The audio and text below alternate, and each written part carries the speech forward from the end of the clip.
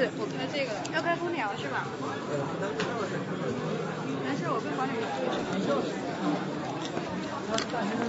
这个已经打开了，只要严禁的，算了，严禁的。你不是要去那个开开主持吗？你上去就给我带上去。我不主持啊，你放在上面，那个让那个。那我就扔了，对了。那你帮我留一下，别都丢了。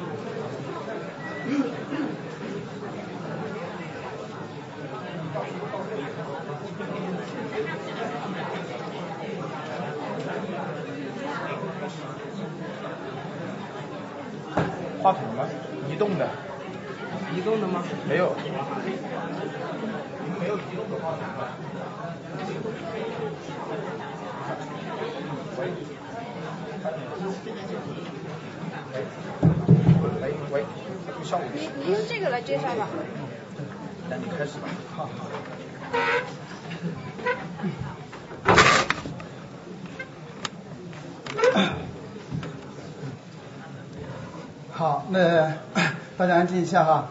那我们那个今天的话呢，非常的高兴，邀请到了我们那个非常著名的刑法专家，呃，齐学武教授到我们这里来演讲。那么的话呢，因为这个消息的话早就发不出去了，那么呢，这个大家可能是吧，已经在这个 已经这个在期待当中。那正好这个题目的话呢，我们齐教授讲的题目叫做期待可能性的这个这个理论。那么现在的话呢，我们这点期待的可能性呢，变成了一种现实性啊。好了，那么关于期待期待可能性这理论的话呢，可能大家都知道，这个是这个最先创立于德国，对吧？大约是一八九七年三月二十三号，好像有个案例，对不对？叫做这个这个皮马案件当中创立的这个理论。那么呢，一九二八年的话呢，传到日本，在日本的话呢，产生了很大的影响。当然后后面呢，台湾也进行了吸收。然后我们国家大约这些理论的话呢，大约是从这个日本传过来的哈。但具体的话，我这个的话，因为我没有没有什么太多的研究，所以的话呢，这个就说不清楚了啊，不好意思。当然，这个这个理关于这个理论在中国刑法当中的这个体系当中的地位问题，它这个判断的标准问题是吧？然后以及它的一些这个这个这个这个呃它适用的范围等等问题的话呢，那么的话呢，我想我们曲曲教授啊，在这个方面他都深有研究啊呃，我们让他先的话呢，以热热烈的掌声来欢迎这个曲教授给我们做讲座啊。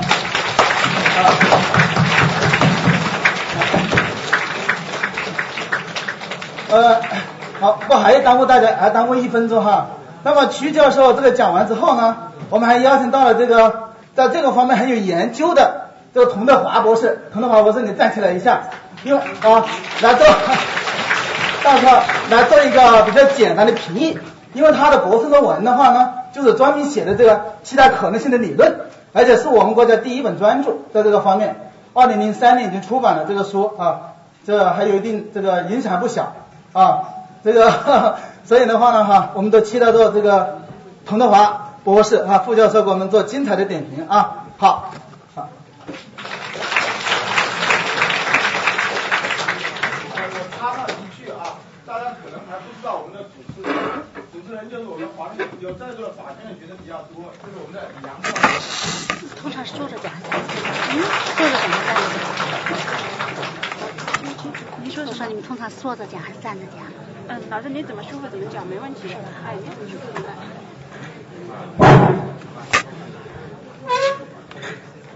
呃，我很高兴有这样一个机会来和大家一起交流。呃，说实在的，跟学生一起交流，我觉得也是一个教学相长的非常好的机会。所以说呢，呃，我期待着等一会儿有更多的同学，我们一起来互动一下。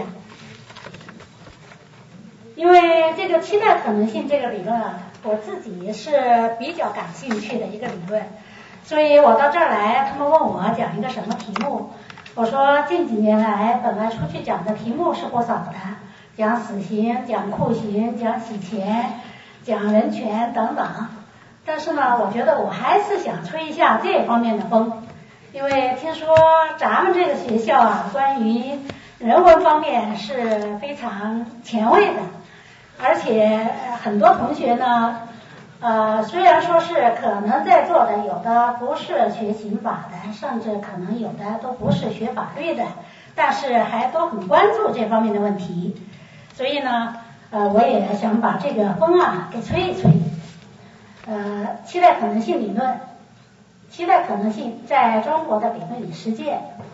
我想时间可能的话，想讲三方面、四方面的问题。第一就是期待可能性的基本思想及其起源，第二是期待可能性的典型特征及其基本理论，第三是期待可能性理论在中国的争议，第四是期待可能性理论在中国的实践挑战。那么第一个大问题呢，就讲一下期待可能性基本理论及其起源，因为期待可能性这么一听。特别是不是学刑法的同学，可能觉得太过抽象，不知道是一个什么样的理论，所以我想还是要结合着案例来讲，同学们可能容易听懂一些。那么我先说一下它的大致的概概念，期待可可能性呢，全称叫做守法期待可能性。我们有的也把它叫做适法期待可能性，适就是适用法律的适。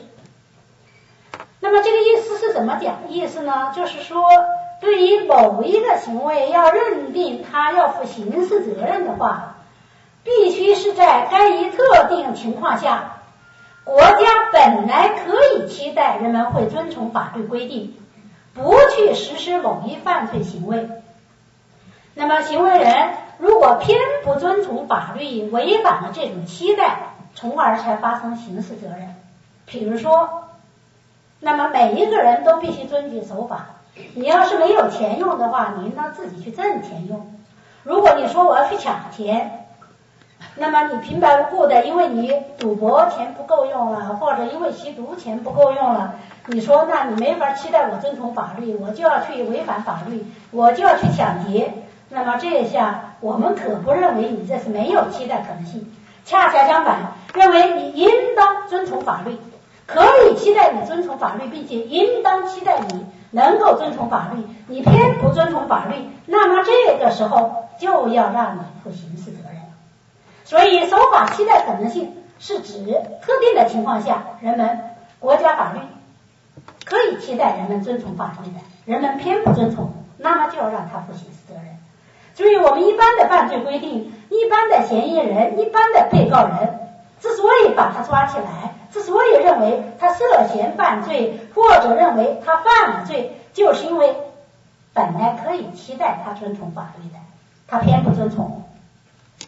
你们，我们看看一个判例，比如说第二次世界大战期间，法国曾经遭到沦陷，大家可能都知道，法国公民。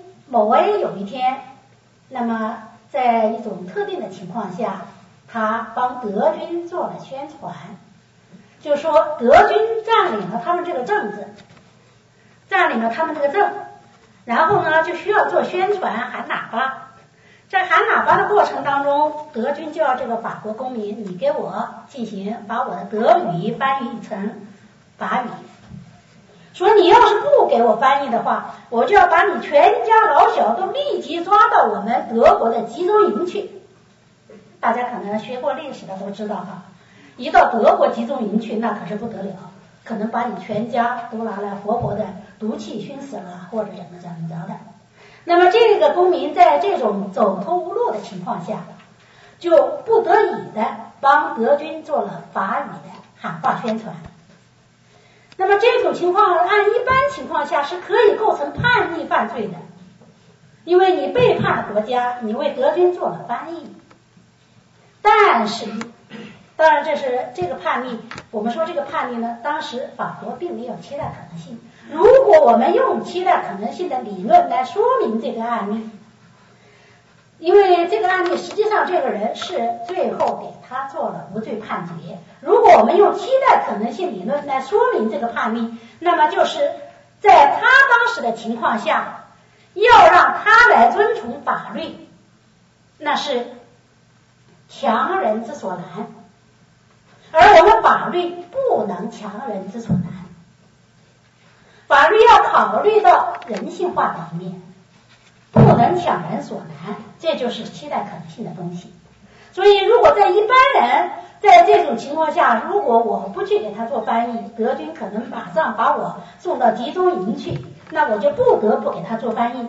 一般人都会做这样的事儿，他也做了这样的事儿，那么法律认为你是释法期待不能，或者说守法期待不能，那么可以免除你的刑事责任。这就是守期待可能性的主要内容。我们再看一个判例：一九七一年韩国的一个判例，某个韩国渔民在捕鱼的时候被北朝鲜的海军拉到了北朝鲜。当时他并不知道自己能否回到自己的国家，所以呢，在北韩期间，他受到了很多的强迫、强制。那么就不得不公开说了很多很多的拥护金日成、反对南韩的话。回到了韩国以后，检方以叛国罪指控了他，但是最后法院以欠缺守法期的可能性，就是缺乏守法期的可能性，对他做了无罪判决。要不然的话，他本来就说按一般常情来看。他是可以按叛国罪判决的，所以期待可能性的基本思想，我想通过这么两个案例，大家可能已经有所了解了。那么第二，我来谈一下期待可能性的起源。刚才李阳老师都给大家简单的说了一下，是吧？起源我们可以说分为思想起源和理论起源。思想起源。就源于一八九七年三月二十三日，德意志帝国法院第四刑事部的著名判例，叫披马案。批就是呃，有些人啊，比如说有狂想癖，就是那个一个病旁一个屁，开天辟地的辟是那个披马案。这个马呀，有一个癖好，什么样的癖好呢？就是把自己的尾巴呀，不停的绕自己的尾巴，叫绕江马。这个马，特别就容易惊马，所以呢，有一天这个被告的雇主有一天又让他驾这个车啊，经过一个比较喧闹的城城市的一个地方，这个马车夫就告诉这个雇主说，这个马呀经常惊马，不能再驾这个马车经过那个地方，容易出事。但是雇主就以要解雇相威胁，大家想想，一八九七年。当时啊，有一碗赶马车夫这个饭碗啊，那是非常重要的。要是没有这个生计，那是非常困难的。人可能一家人就会没法没办法生活下去。所以马车夫在这种情况下就不得不就范，赶着这个马车出发了。结果到了这个闹市区，果不其然，这这匹马再一次的惊马了。结果呢，导致了一个。孩子，那个伤害受到了伤害，就是受到了刑事伤害。所以呢，当时德意志帝国的检察官就以过失伤害罪对这个马车夫提起公诉，但是原审法院宣告被告无罪。检察官觉得非常奇怪呀。说这种情况，你根本不可能宣告他无罪的呀。他是有过失的，他明知道这匹马出去很可能出事，他事先都知道了，可是他仍然赶着这匹马出去了，就因为怕自己这这碗饭碗丢掉了，他就出去伤害了一个人的身体，特别这是一个未成年人，是一个小孩，所以说呢，检察官觉得那个法官这个做法根本是不对的，所以检察官提起了抗告，没想到二审法院维持了原判，并且做出了理由方面的解释，驳回抗诉，并且认为他的基基本理由在于说呢，为什么要这么做呢？是因为当时被告虽然可能认识到了危险的存在，但是法律能否期待被告排除这种危险呢？被告确实因为他的生计所逼，很难期待他放弃他的职业，拒绝驾驭该马，所以被告不负过失伤害罪的刑事责任。大家知道，法官的职责那就是做出判决。法官做出了这么一个著名的判决，可以说是一个破天荒的判决，一下子就推翻了过去的所有的判例，没有说这种情况确有过失而不构成犯罪的。那么这样的判决就给学者们提出了思考的任务、反思的任务。学者的任务就是著书立说嘛。就是要做一些理论方面的探究嘛。法官做出了这样的判决，说明一个什么问题呢？于是学者们就开始来著书立说了。所以，首先是德国的学者梅耶，他在该著名的判决之后的第四年，即一九零一年，就发表了《有责行为及其种类》一文，在此呢。梅业将罪责的内容界定为违反义务的意思活动，因为一般认为行为呢是什么呢？是违法的，而一般有一种认为，在德国啊，以德国为首的大陆法系有一种法言，就是法律的言语，叫做违法是客观的，责任是主观的，就说你违法呢，都是你客观的行为违法了。而你有没有责任？因为他的责任的内容包括故意，包括过失，说这个是主观的。那么，如果你要跟这个法言相违呃相吻合的话，你必须要好好解释一下。所以梅业的解释呢，说这个罪责的内容把它界定为违反义务的意思活动。那么意思活动就仍然是一种主观活动了。就是一种责任非难了。我们刑法有一种术语叫非难，非难就是法律上的否定性的评价的意思，或者说是刑罚上的否定性的评价的意思。如果你有责任，那么就要对你进行责任非难；你如果违法，就要对你进行违法非难。或者说，换句话说，就要对你的违法行为进行否定性的评价，或者对于你的有责任的、有可责性的行为进行否定性的评价。那么他说，我为什么要对他进行否定性的评价呢？因为他这个是违反义务的意思活动。大家知道，意思活动是一种主观活动，所以他说是责任的范畴，那么就要对你进行责任归纳了。这是梅耶的观点。以后又有一个德国学者叫弗兰克，弗兰克在一九零七年的论文《论责任概念的构成》当中，第一次明确的提出了期待可能性的理论。所以说，期待可能性的理论的正式提出就在一九零七年。他指出，责任的本质是具有非难可能性。行为周围的情况会影响到责任的程度。注意，他当时仅仅说行为周围的情况，就像我们提到的匹马案，匹马案的行为的周围的情况，就是当时德国非常萧条，一个人的生计非常不容易。那么这个周围的情况可能影响到他的责任的程度。我们再看。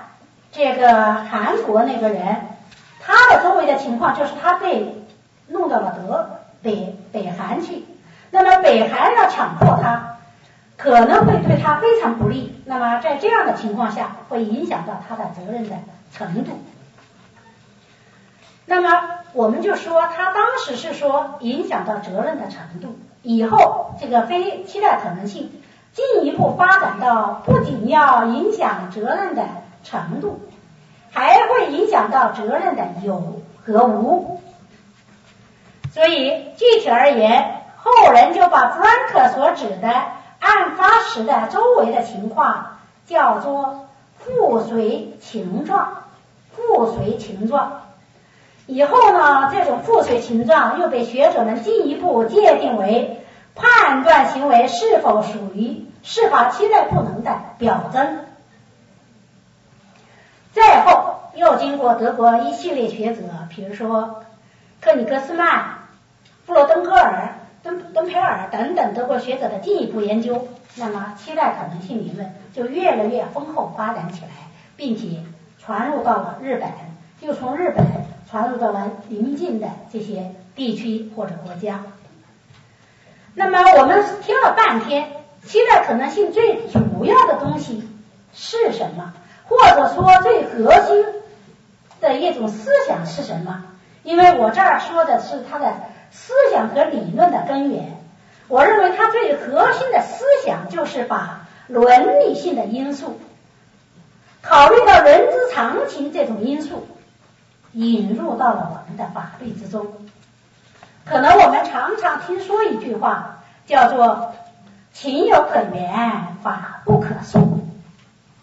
期待可能性是恰恰相反，情有可原，法也可诉。就是要讲，既然情有可原，法就要叫它可诉，这样的法才是具有人性化的法律，在人民当中才有亲和精神。因而，后人，比如说日本的大众人教授，他就明确的指出，说期待可能性就是要想对在强大的国家规范面前川西不已的国民的脆弱的人性倾注刑法的同情之类的理论。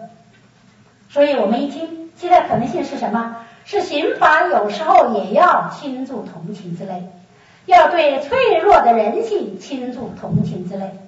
你看，日本、韩国这些国家，他们的有些地方非常明显的显示出了刑法是怎样倾注他们的同情之类的。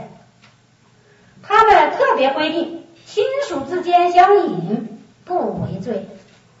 我们国家包庇，比如说你是母亲包庇了儿子，肯定要构成包庇罪的；或者母亲为儿子做伪证，你肯定也要构成伪证罪的。但是在他们这些国家，就是认为符合人之常情。如果要让一个母亲不包庇儿子，那是强人之所难。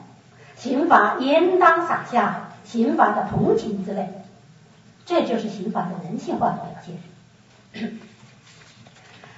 那么第三个问题，我说一下期待可能性理论的责任论归属。如果我一来说责任论归属，可能稍微抽象一点。我不知道我们在座的听众的啊，主要听众是学法律的还是不是？要是不是，你可能会听着觉得有点抽象。但是我尽量的把它说的来，就是大家容易听懂一些，白话一点。就期待可能性理论的责任论归属，我把它概括一下，可以这样说：它就是从心理责任论过渡到性格责任论，再走向人人格责任论，再走到规范责任论的责任论归属。也就是说，期待可能性理论是规范责任论的核心表现。我简单的说一下这几个责任论是怎么走过去的，尽量的用通俗易懂的语言让大家明白一下。心理责任论，心理责任论呢是我们刑法学界最初的一种责任理论，是从贝塔利亚为首到费尔巴哈的古典形式学派所主唱的理论，认为为什么要追究一个人的刑事责任呢？就是因为他的意志是自由的。你比如说，本来他可以决定不去犯罪，比如说我反毒了，呃，我我我吸毒了，吸毒了，那个毒资不够，有人就要去反毒。那么按照心理责任论的观点，就认为你的意志是是自由的，你就不要去选择反毒，而是尽量的克制自己那个吸毒的欲望，甚至于到戒毒所去戒掉你的毒瘾，这样你不就对了吗？你不就成为一个犯罪边缘人士，走向一个正常的公民了吗？可是呢，你偏要选择犯罪，所以呢，你的心理是有问题的。所以呢，从道义上来讲，我也是应当谴责你的。法律从道义上也要谴责你，而且谴责你的是什么呢？核心的意思是要谴责你的行为。所以，心理责任论又被称为道义责任论。又被称为行为责任论，这是心理责任论的观点。那么，以下进一步走，没多久又出来了一个新派，叫行为人责任论，或者社会责任论，或者又叫性格责任论。他们就意思，他们的主要思想是建立在意志决定论基础上。因为形式古典学派心理责任论认为意志是自由的，而行为人责任论，你比如说我们大家知道的菲利，意大利犯罪学家菲利，他就特别强调意志是不自由的，意志是被决定的。他特别他在他的一本书里头谈到，他说我本来比如说我这我本来决定这个学期我一直在学校，我不要回家。可是忽然我接到一个电报，或者接到一个什么信息，告诉我说我父亲病危，于是乎我不得不回家了。所以，我虽然意志，你说你是自由的吗？为什么你又不得不回家了呢？所以你的意志是被决定的，不是完全自由的。我记得我前不久看一个电视，柏林一个市长，他在一个会上公开宣布自己是一个同性恋。记者就问他，说：“你愿意披露你是一个同性恋这这么一个信息出来吗？”他说：“我当然不愿意，但是作为一个公众人物，我的意志是不自由的，我是不得不披露的。所以，这个性格责任论者又叫社会责任论，他认为你什么东西都是社会决定的，不是你自己完全能决定的，你是身不由己的。”所以，一个人如果说是犯了罪的话，主要不是说他的道德沦丧，不是说他的心理有问题，而是他这个行为人啊，处于这个社会当中身不由己。所以呢，国家和社会本来应当负更重要的、更主要的责任。本来社会、国家要负你入染了那些人的责任。你没有很好的教育好这些人的责任，可是你为什么又把这些人收监呢？是因为他们这些人的性格、人生有危险，为了社会防卫之计，我不得不把他收监，所以这叫社会责任论，又叫行为人责任论。然后再一步进化，就有了二者之间的心理责任论和性格责任论的折中，叫人格责任论。人格责任论就是既讲究，又看见人的行为，又看见了行为人，又看见了意志是自由的，又看见了意志是身不由己的，又有被决定的一面。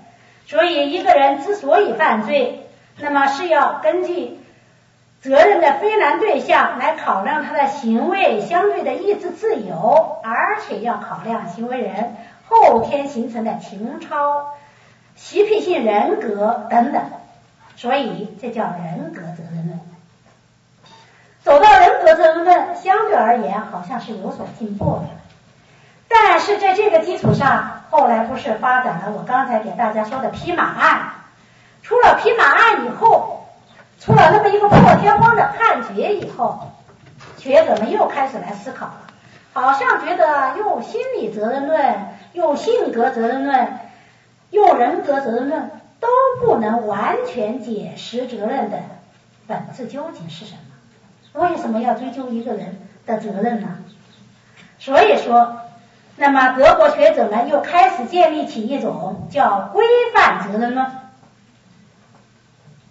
因为过去有一种说法。说什么呢？说法律规范仅仅是评价规范，不是单位规范，也不是命令规范，就是一个评价规范。所谓评价规范，就是一种价值评价，就说你这种行为该不该当法律谴责，或者说该不该当法律非难。我们想想，如果一个规范仅仅是一个评价规范的话，如果一个规范毫无指引功能的话，那么即便是一个精神病人，法律都可以谴责他。为什么呢？法律并不指引他，法律并不告诉他该怎么做，做什么，他也看不懂，也听不懂。所以你只要是个评价规范，那就无论任何人，你都可以为难他，都可以谴责他。但是，假如法律不仅仅是一个评价规范，同时是一个当为规范，当就是应当的当，为是行为的为为，同时是一个当为规范，是一个指引规范，是一个命令规范的话，那么就不一样了，是吧？那么你对于你的对象必须是他能有行为能力的，有责任能力的，能听得懂，能理解你这个规范内容。那么在这种情况下，经过你的指引，他仍然要去做。不该做的事儿，那么你可以谴责他。但是经过你的指引，他仍然要去做不该做的事儿，那么期待可能性就在于什么地方呢？虽然他做了，假如他当时所处的附随情状还表明一般人都不具有守法期待可能性的话，那么法就不强人之所难。这个时候就可以阻却他的责任，或者减轻他的责任，所以期待可能性才成为规范责任论的一个核心内容之一。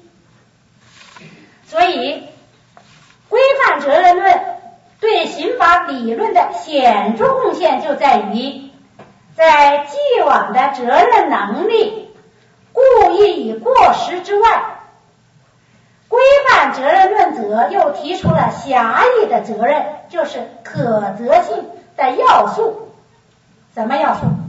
守法期待可能性，这是它的要素之一。没有这个要素，刑法就不是一个能撒下刑罚的同情之类的法，就不是一个具有人性化的刑法，或者说。按我们现在比较时髦的用语来说，就不是一个以人为本的法，是不是？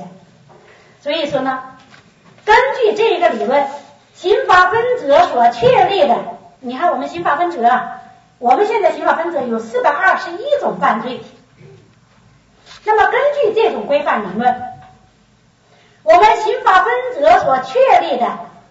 四百二十一种犯罪当中，既有故意犯罪，也有过失犯罪。那么这些针对故意与过失的违法非难，都是面向全社会的所有法共同体成员的一般的抽象的非难。所谓一般的抽象的非难，就是一般而言，你违反了刑法分则，这四百二十一种犯罪之一，就要负刑事责任。但是期待可能性不一样，期待可能性是面向行为者本人的个别而具体的非难。你们看，我们刚才给大家无论举的匹马案，还是第二次世界大战的判例，还是韩国的判例，都是就个案而言。在这个个案当中，你才能发现附随情状是不是一般人都不可能去这么做。是不是存在法不强人之所难？刑罚该不该撒下刑法的同情之类？所以你这个一般的抽象的规定，你规定不出来这些东西。所以我有时候啊，把它用一句简单的话来说，我有时候就想要用一句民法的术语来说它。说起来可能不一定是对，但是呢，是不是要好理解一些？就说刑法分则这种面向全社会的法共同体成员的一般的抽象的非难，是一个对人权，而啊是一个对事权，而这个具体的才是一个对人权。我们要看个案，看个人，是不是？虽然这个不是个权利的问题，所以我说不是完全很合适，但是呢，我只是让大家要好理解一些。那么根据这个理论，那么行为如果具有构成要件的符合性、违法性，因为我们大家知道，大陆法系的犯罪论体系是三要件的递进的、纵向的、开放的犯罪论体系。先要看一个人的行为是不是有犯罪构成要件的该当性，构成要件的该当性，又叫构成要件的符合性。比如说一个人他去抢了别人的吃的东西，是吧？而且抢的可能在在西方国家是不要数额的，在我们国家是有一定数额要求的。可能如果呃伤害不严重的话，抢了他人的东西。那么看起来就符合构成要件的该当性，然后再看它具不具有违法性。如果具备构成要件该当性，一般来说就推定你具有违法性了。但是推定不等于认定，要认定它具有违法性，还必须没有违法性阻却事由。比如说他是正当防卫，呃，比如说他是处于一种什么特殊特情况，那么有了违法性阻却事由，你这个推定就不能成立。那么他又符合构成要件该当性，又具备违法性，又可以认定他的违法性，还能不能治罪呢？还要进一步看他有没有可责性。可得性也是这样。一般来说，你符合构成要件该当性，又有符合又有违法性，那么可以推定它有可得性。但是推定仍然不等于认定，要认定还是必须具不具备为可责性的准确事由。假如有可责性的准确事由，那么还是不能法律不能非难他，不能谴责他。那么这个可能性是那个可责性是什么东西呢？可责性我们等会儿后头还要专门说可责性的要素，但是我现在特别想强调的就是期待可能性，那么就变到可责性的要素之一了。故意过失、期待可能性是吧？这些呢，从此以后呢，期待可能性作为狭义的责任要素，就成为了刑法学者们热切关注与积极研讨的。课题之一。好，我说的第三个问题，小三期待可能性的归属。第四个问题，我说一下期待可能性的法律性质。在不少国家，期待可能性主要作为超法规的准确责任事由，特别是德国。德国本来是最先兴起期待可能性的国家。可是到后期，它倒是渐渐的对这个理论的研讨比较衰落下去了，而且法律也没有把它作为专门的呃法定的准确责任事由加以规定，而是作为一种超法规的准确责任事由。倒是在日本，这个期待可能性理论倒是越来越博兴，越来越发达。一九二五年。德国刑法草案第二十二条第一项曾经规定，为避免自己或他人陷在无其他避免方法之重大的损害危险而实行德科刑罚之行为者，如果依该情况不能期待其忍受将发生之损害者，不得科以故意罪之刑罚。就是一九二五年，德国刑法曾经加以规定。一九二七年，还有曾经加以修改，所谓避免自己或他人现在无其他避免方法之重大的损害危险而实行德科刑罚之行为者，如以顾虑义务相应之对立的呃利益，仍不能期待该行为人或面临危险者忍受将发生的损害的时候，则这个情况可以不负刑事责任。然后日本、韩国刑法也有规定。日本刑法没有明确规定期待可能性，但是通说认为，日本刑法第三十六条第二项关于根据情况减轻或免除过剩行为的刑法的规定，第三十七条第一项但书关于根据情况减轻或者免除过剩避难行为的刑法规定，第一百零五条关于犯人的亲族为了犯人的利益而藏匿犯人。湮灭证据的行为免除刑法的规定，都是以期待可能性为根据的。韩国刑法分则上所规定的亲属之间的窝藏犯罪人人或者湮灭证据，以及犯罪人之间的窝藏共犯或者毁灭证据，也是以期待的可能性为理由来减轻或者准确刑事责任的。好，第一个大问题，关于期待可能性基本思想及其起源，我就给大家粗略的介绍到这儿。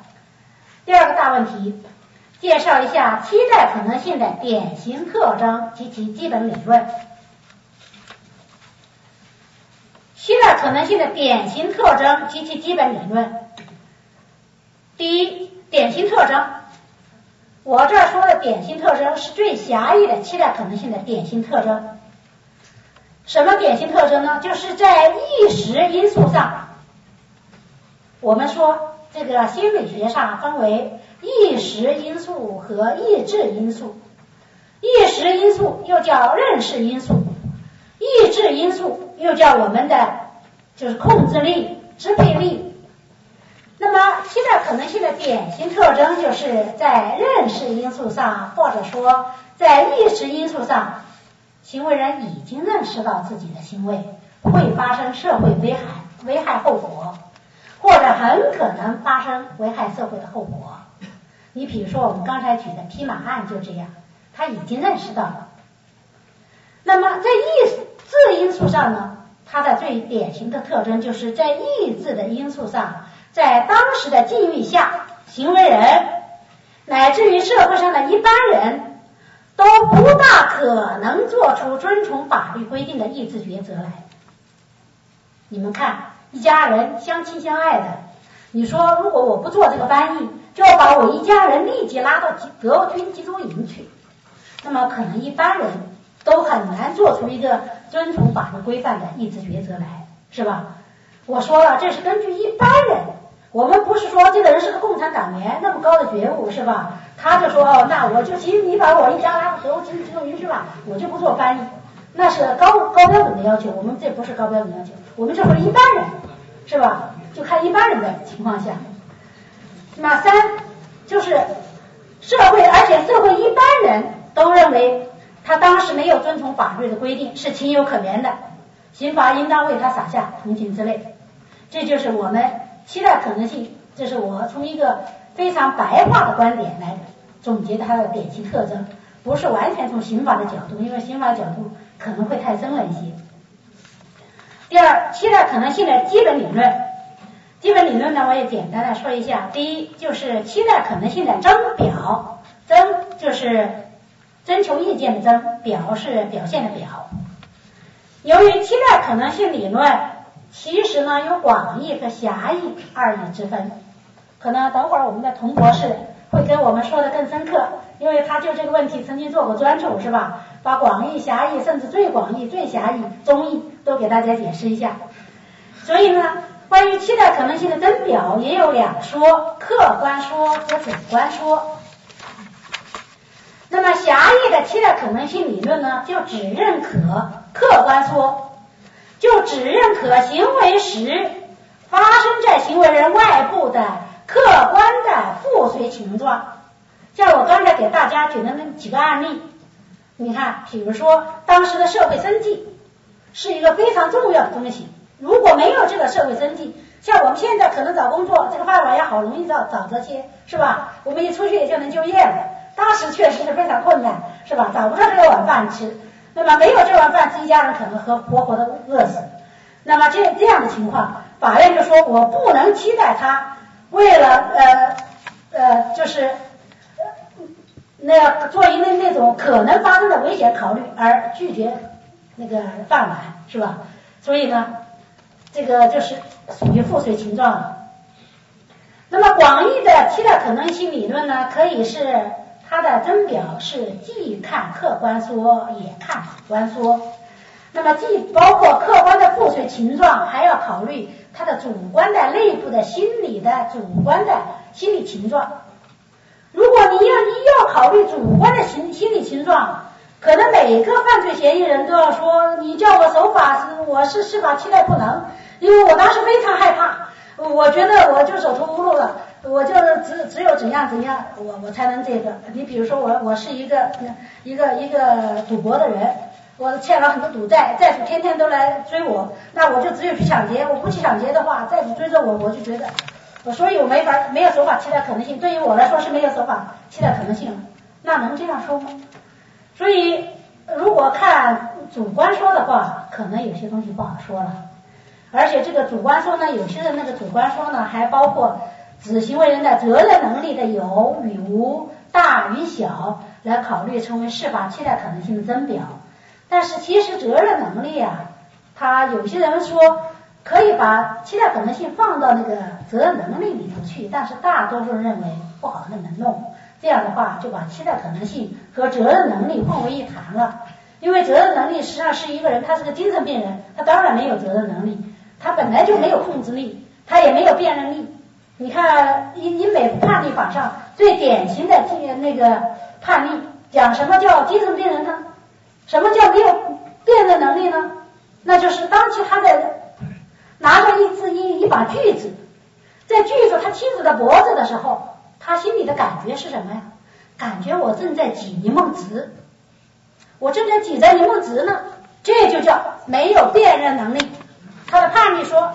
你们今后看什么是没有辨认能力？这就是没有辨认能力，没有控制能力，他当然没有责任能力了，那是没有责任能力，是吧？如果你把这种情况都作为期待可能性的真表，那就和责任能力完全混为一谈了。那我们这个期待可能性，这也就太广义了。所以呢，我个人也是比较赞同狭义的客观真表说的。认为责任能力是就一般人的认识能力与控制能力而言，而期待可能性绝不是针对一般而言，是我刚才说都说了，它是针对个案、个别人、个情而言，所以它应当是针对个案、个情当中个别人的意志能力而言的，所以它应当是客观附随情状拿来作为真表比较好一些，作为狭义的期待可能性的客观真表。然后期待可能性的基本理论里头，我想说一下的第二个问题，就是期待可能性在犯罪论体系中的地位。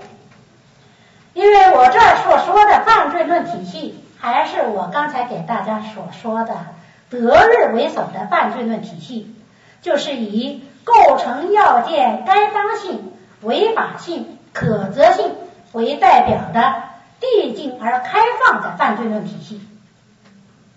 大家知道，我们国家的犯罪论体系是平面的、封闭的，只能入罪不能出罪的犯罪论体系。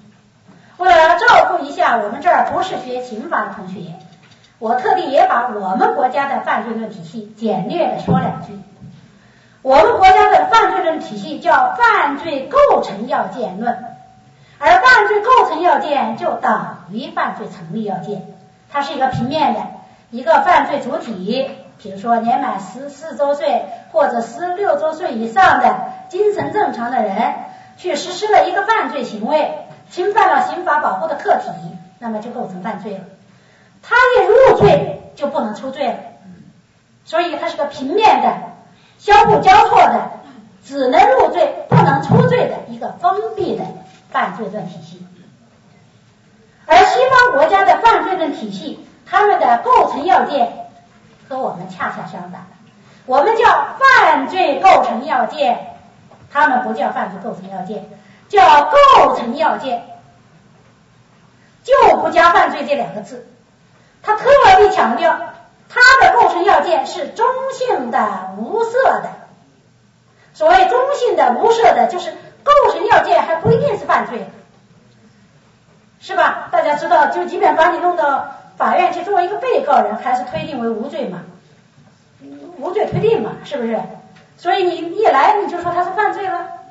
所以虽然看起来你符合构成要件该当性，你符合刑法分则故意杀人这一栏，你故故你确实好像也故意了，你也杀人了，但是你只是有构成要件该当性。法律对你的评价认为你是中性的，是无色的，而不是我们国家一来就叫犯罪构成要件。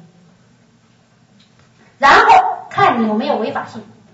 再看你有没有可责性，从而如果你有违法性，那么再进一步看你有可责性才给你入入罪，否则的话，你就即便构成要件该当，如果你主确违法，那你就出罪了，或者你同时也违法了，但是你又主主确责任，还是出罪了。所以，他这个犯罪论体系是开放的，是递进的，和我们是不一样的。那么。我们这个这个期待可能性，至于哪一个阶段，至于何种性质要素呢？归纳起来，德日刑法学界，包括我国学者认可的观点大致如下：认为呢，期待可能性可以放到责任那一栏里头去，就是我不说吗？构成要件该当性、违法性、可责性。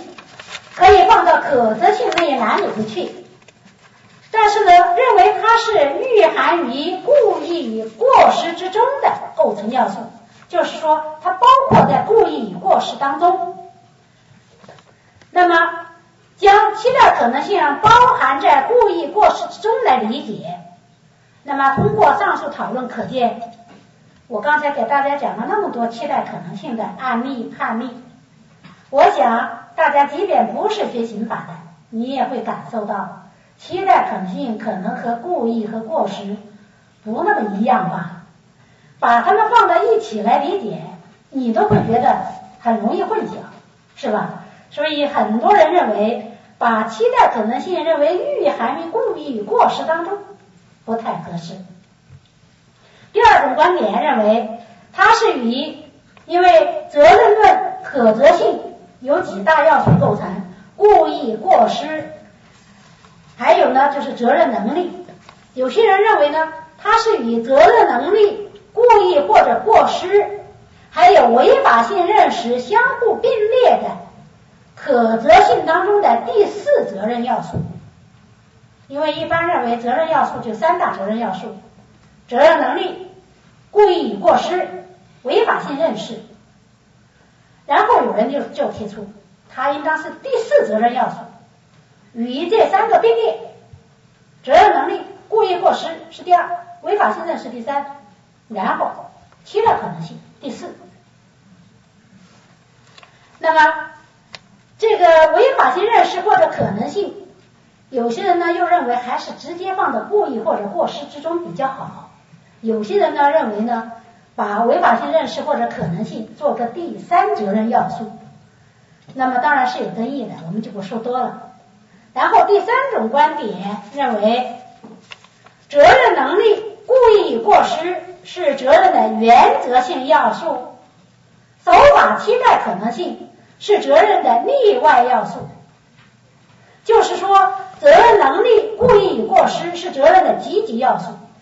而守法期待可能性呢，是一个消极要素，它的功能仅仅在于主确责任，就是责任主确是事由，消极的主确责任事由。谈了那么三种见解，现在我谈一下我个人的见解。坦率的说，我个人过去是比较赞同第三种观点的，认为。把期待可能性作为一种例外要素比较好，因为我觉得呢，你看，责任能力、故意与过失，好像是一个对一般人、一般事都可以通用的，所以把它作为原则性要素挺好。而你只对特定的人、特定的事适用的，作为例外要素比较好。所以我过去曾经写了一篇文章，我都是持有这种观点。但是近期以来，呃，再深入研究了一下，我又想修正我的观点了。所以我一直以来我都反反对有一种观点，就是有些人说说有一些人啊，这是怎么就像墙头草一样东一偏西一倒的。我觉得学者们也是可以修正自己的观点的。当其他发现自己的观点有所不足的，为什么不可以修正？有错必纠嘛，是不是？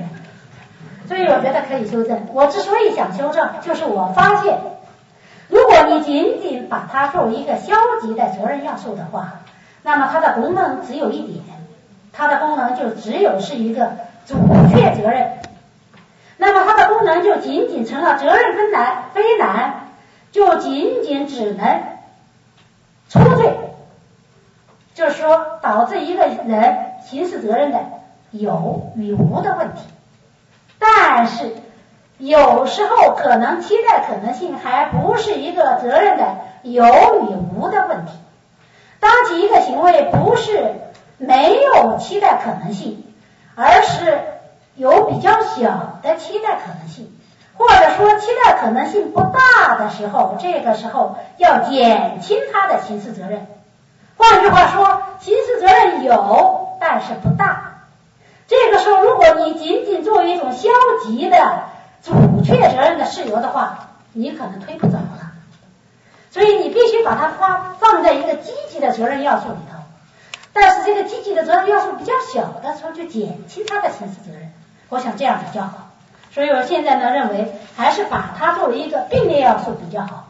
就是说，它也是蕴含于故意与过失之中的构成要素，而且是并列于故意过失。和那个责任能力的一种责任要素，一种积极的责任要素，可能比较好一些。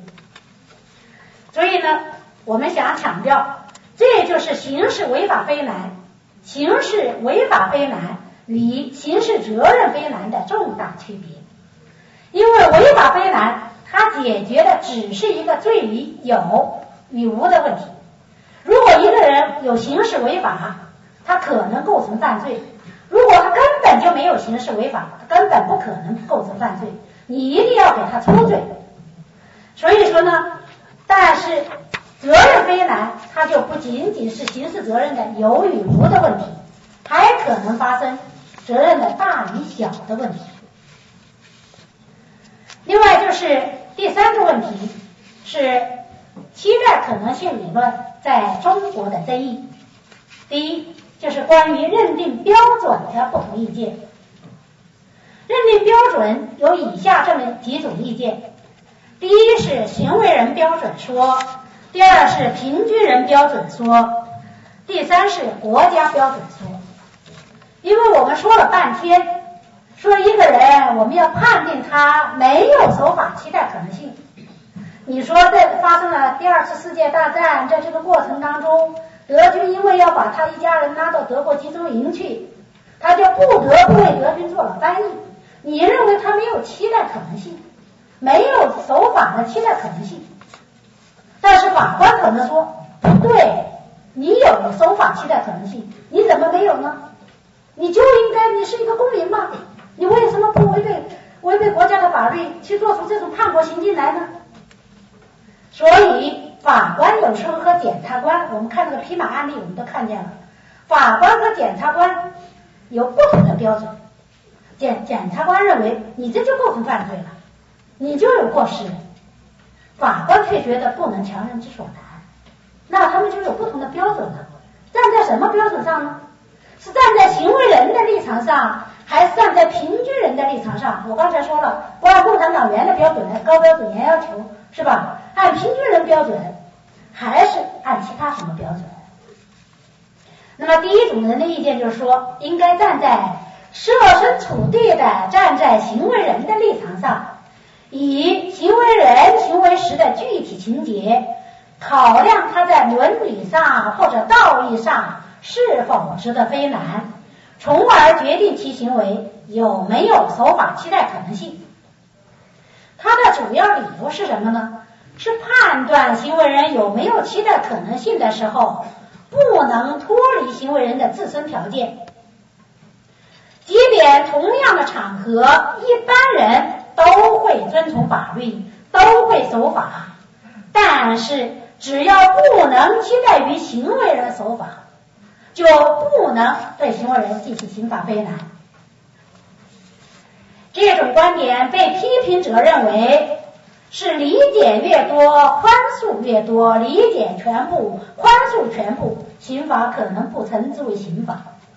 特别是对穷困犯、潦倒犯、确信犯，我们刑法上所说的确信犯，是指往往是指那种政治立场，他确信他是非常对的，他做这件事儿是在为了保护国家、保卫人民利益，所以他才这么做，所以他是确信犯。那么这种情况，你要是想他期待他守法，根本不可能。那么，那么这样的话，我们这个法律规定起来干什么呢？是不是理解全部就宽恕全部了呢？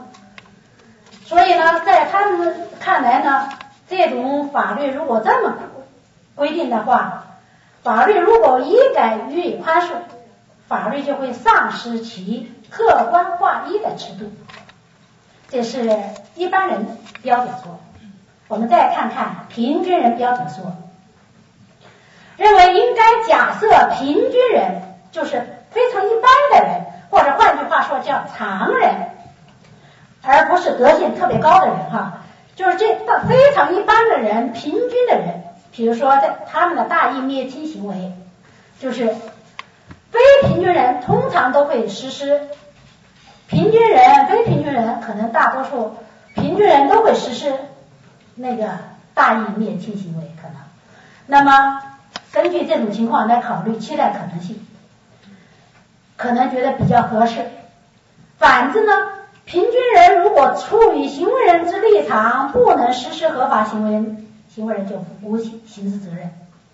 比如说，持这种观点的有德国的格格尔德斯密特和日本学者木村圭二。木村先生特别指出说，刑法既不是圣人之法，也不是贤人之法。既不是圣人的规范，也不是贤人的规范，而是平均人的规范。所以呢，不区别勇敢者和怯弱者，而是相对于社会一般人的规范。那么，在这种意义上，以社会的一般人为标准，根据社会的一般人入处在行为人的立场上，能否做出合法行为的决议，来判断期待可能性有有无，是比较妥当的。这是平均人的标准，但是对平均人的标准的批评也是有，批评主要有二。第一种批评意见认为，比如说日本学者福田平就认为，说期待可能性的中心思想就在法律不强人之所难，因此责任非难，应当以行为人的可能为其界限。纵然平均人可能，但行为人却不能时，不能不考虑行为人时的特殊情形，否则就与承认期待可能性的意志背道而驰。又有人认为，所谓平均人的观念，就社会阶级对立、政治信仰分裂的现代社会而言，实在缺乏客观性。只指内容分歧不一的观念作为判断有无期待可能性的标准，有害法的安定性。这是第二种观点。第三种观点叫国家标准说，主张期待可能性的标准不应该放到行为人或者平均人中间去寻找，而应当以国家或者法次序。所期待行为人采取事法行为的具体要求为准。不知道大家听了我这个标准以后有什么感想没有？有同学已经听见了是吧？这叫循环论证，或者说以问答问，没有解决任何问题。问：遵从法律规范的可能性的标准是什么？答曰：法律规范就是具有遵从法律规范可能性的标准，所以是叫以问答问，什么问题都没有解决。所以我们最终还是要从第一说，就是行为人说和平均人说当中来有大家自己的意见。我想在座的每一个同学，你们都可以有你们自己的意见，但是呢，作为学者学者也可以有学者自己的意见。我我再强调一遍，这个理论是大家都可以有自己的意见，这是没有一个呃绝对的呃统一的划一的意见的。当然有比较通缩的意见，但是个人有可可以有个人的观点。我现在给大家谈一谈关于不同认定标准之我见，就是我的立场。我想说一下时下多数人持平均人标准之立场，但是国内不少学者，包括一些著名学者，比如说可能很多同学都知道的陈新良教授，就赞同行为人标准说。我本人比较赞同多数人的意见，我不是因为是多数人的意见而赞同多数人的意见，而是有以下几点理由的。我的主要理由是：第一，一般而言，平均人标准比较接近大众认可的公共道德底线。正如木村先生所说，刑法既不是相对于圣人贤人的规范，也不是相对于勇敢者的规范或者懦夫的规范，而是相对于社会一般人的规范。而按照行为人标准说，他可能根据自己的道德底线，那么不排除有的人的道德底线可能是相当背德的，认为自己在当时情形下完全不具备遵从法律规范的期待可能性，而据此做出违反刑法规范的意志抉择来，法律因而应当宽恕他。那么，我们法律能宽恕这么多、这么重的被德的行为人的行为吗？刑法应当为他撒下刑法同情之泪吗？因为判例法上对有的可做合法辩护的被胁迫事由，往往有一个前提条件。这个前提条件就是什么呢？就是唯有一个具有合理坚定性的人。在他所处的境遇下，也无法抵抗该死亡威胁，才可以做被胁迫辩护。拿着一把枪对准你，让你马上，比如说去帮我抢劫去。一个合理、具有合理坚定性的人，在这个境遇下都无法抗拒这个死亡威胁，那么可以做合法辩护。我们想，可不可以把这个一个具有合理坚定性的人，他就是指的一个抽象而一般的概念，或者说，换句话说，就是认可一般人标准、平均人标准。这是第一个理由。第二个理由，所谓期待可能性的中心思想是法不强人之所难，因而如果。以平均人为标准，则期待可能性会失去了存在价值的说法，我认为也是牵强的。因为法不强人所难，不是毫无原则的，不是毫无道德底线的。特别是刑法，它调控的是危害社会的行为，所以我想要说的是什么？刑罚就是要强人之所难，刑罚就是要你去做你不想做的事儿，你不想遵从的事儿，就要你去遵从，就是要强你之所难。例外仅仅在于什么地方呢？例外仅仅在于公众都认为该行为不违背有关伦理道德体现，换言之，公众都认认为。他的行为情有可原的时候，法才不强人之所难。所以，法之强不强人所难，绝不是毫无原则、毫无道德底线的。第三，所谓社会阶级对立、政治信仰分裂的现代社会而言，实在缺乏客观性的说法，我认为也是不理由的。按照这种观点，我们确认的刑法的客观主义立场是完全无法贯彻的。难道我们能因为现代社会的阶级对立、政治信仰分裂，而摒弃刑法的客观性、一般性，而将其刑罚设置为能同时适合于对立阶级利益的大同刑罚吗？不可能是个大同刑罚，这个刑罚还是国家意志体现，还是统治阶级意志体现。虽然我们现在某种意义上来讲，我们刑法也有很多公共职能。但是它还不是一个不考虑对立的阶级利益的，还是要考虑的。第四，所谓客观性问题，我们大家可能都知道道德规范。你看，我们法律规范是一个成文规范，总是有一步一步的法典。我们不是判例法国家，我们也不是习惯法国家，我们是成文法国家。我们道德可是没有一个规范的，没有成文的法典的。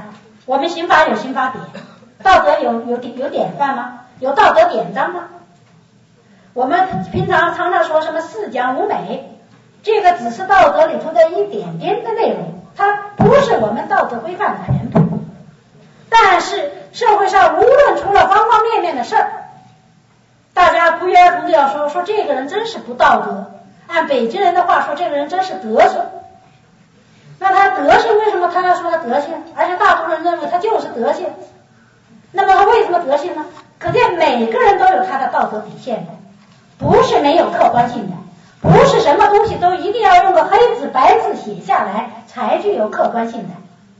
我想，所谓平均人标准说就难以达到客观性的问题，我觉得也不是一个问题。也不是一个问题的问题，是吧？第五，我们赞同刑法的人道性、人本位性，但是这一个引撒刑法同情之类的法，应当是大众在此情况下，出于其基本的自救、自保或者亲情考量，大家都会做出缺乏守法期待可能性的事情来。我们才能撒下刑法的同情之泪，而不是在大众都不会，仅仅当事人自己或者当事人的亲朋会为之撒下刑法同情之泪的情况下，就认为他没有刑法期待可能性，应当予以同情。比如说，我们可能看见一个案例，等会儿我还要举一下这个案例，是吧？有一个人他在路上抢劫了，然后回到家一看。这个被抢劫的这个这个女性啊，恰恰住在他自己家里，他就想把这个女的杀了。哎，他母亲非常同情他，他母亲就非常同情他。那是不是我们刑法也要为他撒下刑法同情之类啊？你在他的个别立场上觉得他没有守法期待可能性，他在这种情况下他不得不把这个人杀了吗？要不然怎么办？你要完全站在行为人的立场上，那他就要为他撒下刑法同情之类。我们刑法能这么做吗？所以，刑法要考量大多数人、一般人、平均人能不能为你撒下刑法同情之类，会不会同情你，是不是？第三，我说一下我我国刑法中有没有期待可能性的规定。我们一刑法一些学者认为，我国刑法第十六条关于不可抗力的意外事件规定，是刑法上肯定了期待可能性的理论。比如说，清华大学张明凯教授在他的《刑法学》一书》当中就确认了这个观点。另外，冯军教授、姜伟教授都还举了案例来说明这么一个观点。比如说，姜伟教授举了一个案例，说王某某带了一个邻居家的五岁小男孩去河边散步，结果在喧闹的过程当中呢，这个小男孩不听王某某的劝告和制止，不慎的。跌入了河中，跌入河中以后呢，由于这个女的王某某也不会游泳啊，她也没办法营救，结果呢，这个五岁的小男孩就溺水而亡了。那么在这个案件当中，这个王某某按照我们刑法的一般理论，你把一个这么小的小男孩带出去，你就有救助他的义务。你的先行行为就是你临时充当他的一个监护人，把他带出去玩。那么当其他掉到河里头去了，你有救助他的义务。可是你没有救助，按照刑法学者一般认为，你就构成不作为杀人了，是不是要给你一个不作为杀人？那么这一个，比如说过失致人死亡罪，定一个刑事责任，过去就叫过失杀人罪，是吧？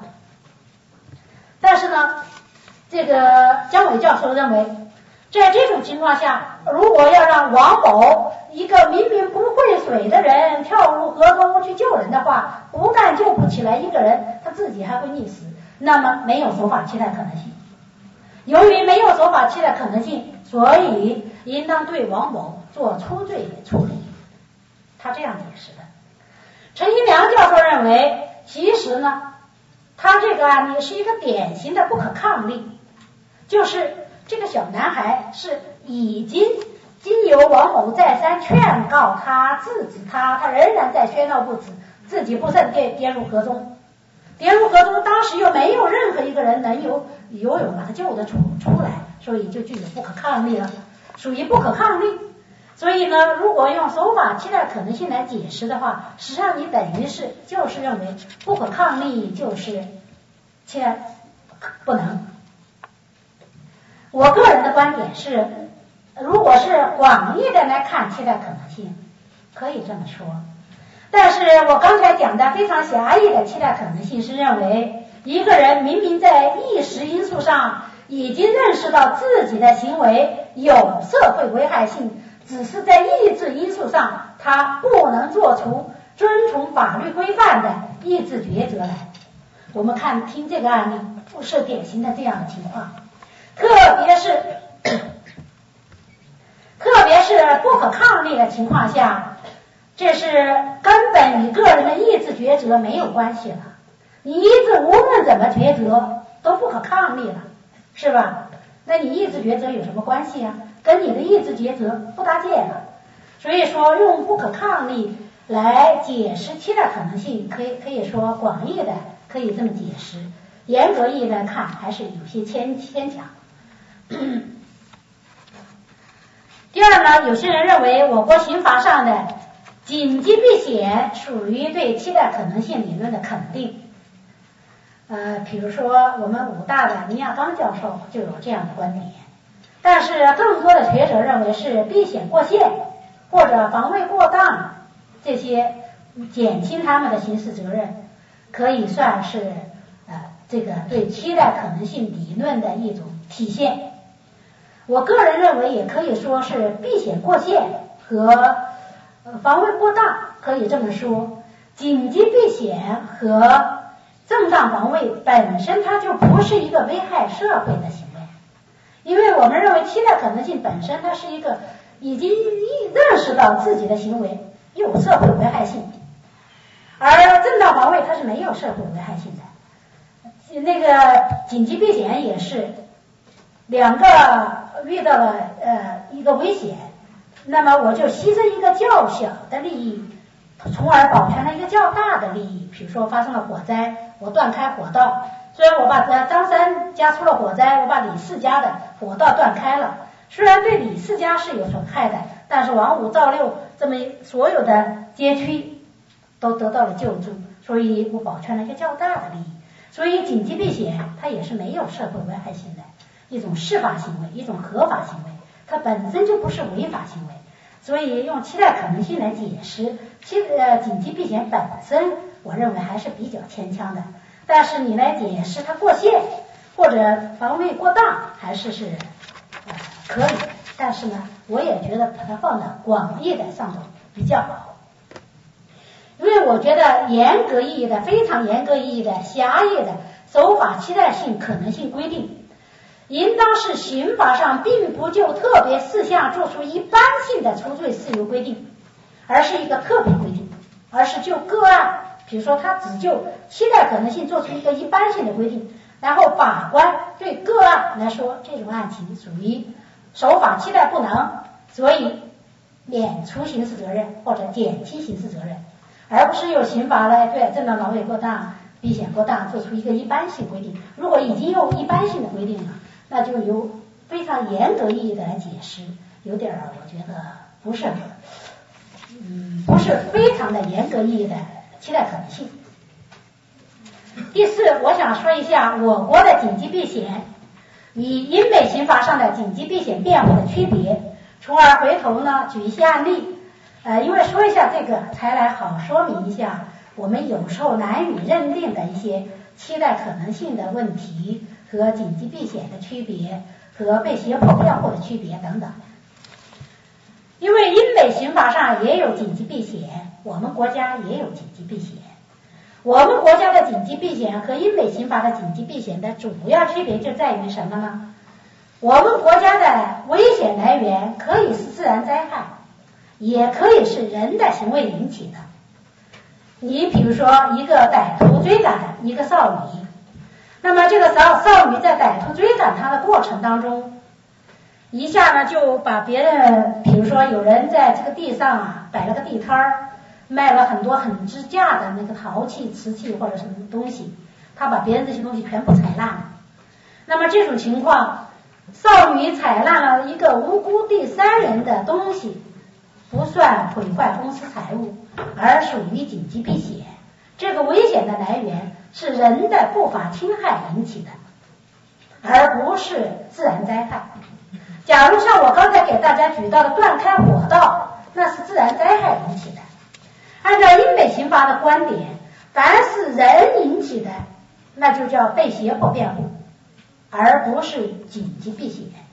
紧急避险的危险来源，照英美刑法的规定，只能是来自于自然灾害引起的危险，所以完全不一样的。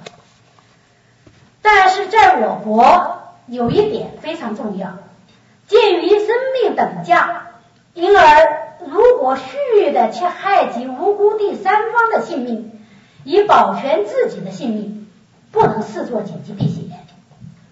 因为紧急避险是可以自己做，也可以是为他人做。所以你比如说一个大夫，你当然是一个最经典的案例，就比如说船上遇到了海难，那么这个救生艇只能乘坐两个人，那我是不是可以把你推下去？因为推下去保全了我的生命利益，那么如果按照有些人的观点说，啊，我保全的利益和损害的利益一样大，我们两人生命等价，所以你不能把我推下去。有人就提问，那这个救生艇能坐三个人，那么我们两个人把你推下去可不可以？保全两个人的利益嘛，是不是？那是不是紧急避险啊？再那么按照最经典的案例。呃，英美刑法上曾经有这样的判例，你在一个大海上遇见了海难事故，一一群那个船员啊，最后剩那么五六个人，为了要活下去，他们就发现他们那个服务生啊，身体最弱，最后就才商议了以后，就把这个服务生杀了，喝他的血，因为他们没有淡水喝，喝他的血，而且作为营养的来源，等着救生存的来的。后来救生船果然来了，他们全部都获救了那几个人，但是最后都起诉了，都给他们定罪了。虽然他们认为他们保全了那么多人的利益，但是不能把生命作为危害的避险的对象，除非采取抓阄的方式，是吧？大家机会相等，那么你们三个人来抓阄，抓的哪个人两个人活就哪两个人活，哪个人死就哪个人死，那这样的情况可以例外。判例法上有例外的。那么有一些人说，有一个大夫，他有三个病人。虽然我为我自己，那是与我主体相关的利益，是吧？如果我为了他人，因为避险也可以是为国家、为他人的利益来避险。你比如说这个地方发生了火灾，那么本来是应该，比如说消防员来断开火道，可是我看见这儿发生了火灾，我也可以去断开火道。那么救助了一大片的利益，只是损害了张三家起了火，我把李四家的房子拆了，损害了一个李四家的小利益，保全了一大片的利益。那么我这个第三人，应当说了也是符合法的规定的。我的避险的对象不是生命，但有人说说我是个大夫，我有三个病人，这三个病人有一个人啊，他只是身体发生了功能性的病变，并没有器质性的病变，比如说他只是感冒了，治一下就会好。有一个人得了心脏病，而且这个心脏已经不可救药了，坏心，成了心坏心人。还有一个人肾衰竭了，他是肾坏了。那么我这个大夫可不可以把这个健康的人杀掉，然后把一个心脏来救这个心脏病人，是吧？好的心脏救助一个心脏病人，好的肾脏救助一个肾脏病人，保全了两个人的利益，死了一个人的利益，可以吗？仍然是不可以的。生命不能作为避险的对象，这是我们大家切切要记住的。除非我就说的机会均等，抓阄再从。你看有这样一个案例，我刚才给大家说了一大半儿，这个案例在网上炒了半天，很多同学都看见了这个案例，是吧？我再说一遍，是吧？时间稍微晚一点，我把它抓紧一点说哈。一天晚上，这个李某某骑着自行车外出的时候，李某某是个女的，一个少女骑自行车外出的时候，被持刀抢劫的张某拦住。在张某的威胁下，这个李某某就把身上的现金啊、钱财呀、手表啊这些都交出来了，把自行车也交出来了。张某在得手后就准备骑车离去，结果这个李某某还是非常有办法的，他就趁其张某某不备的时候，把他自行放在自行车座上的打气筒一下拿出来，照准这个张某头部猛的一打，把张某打倒在地，昏倒过去。这个少女李某某就取回自己的现金、手表，骑车继续前行。但是呢，当时夜已经深了，他就找到一个地方农家去投宿。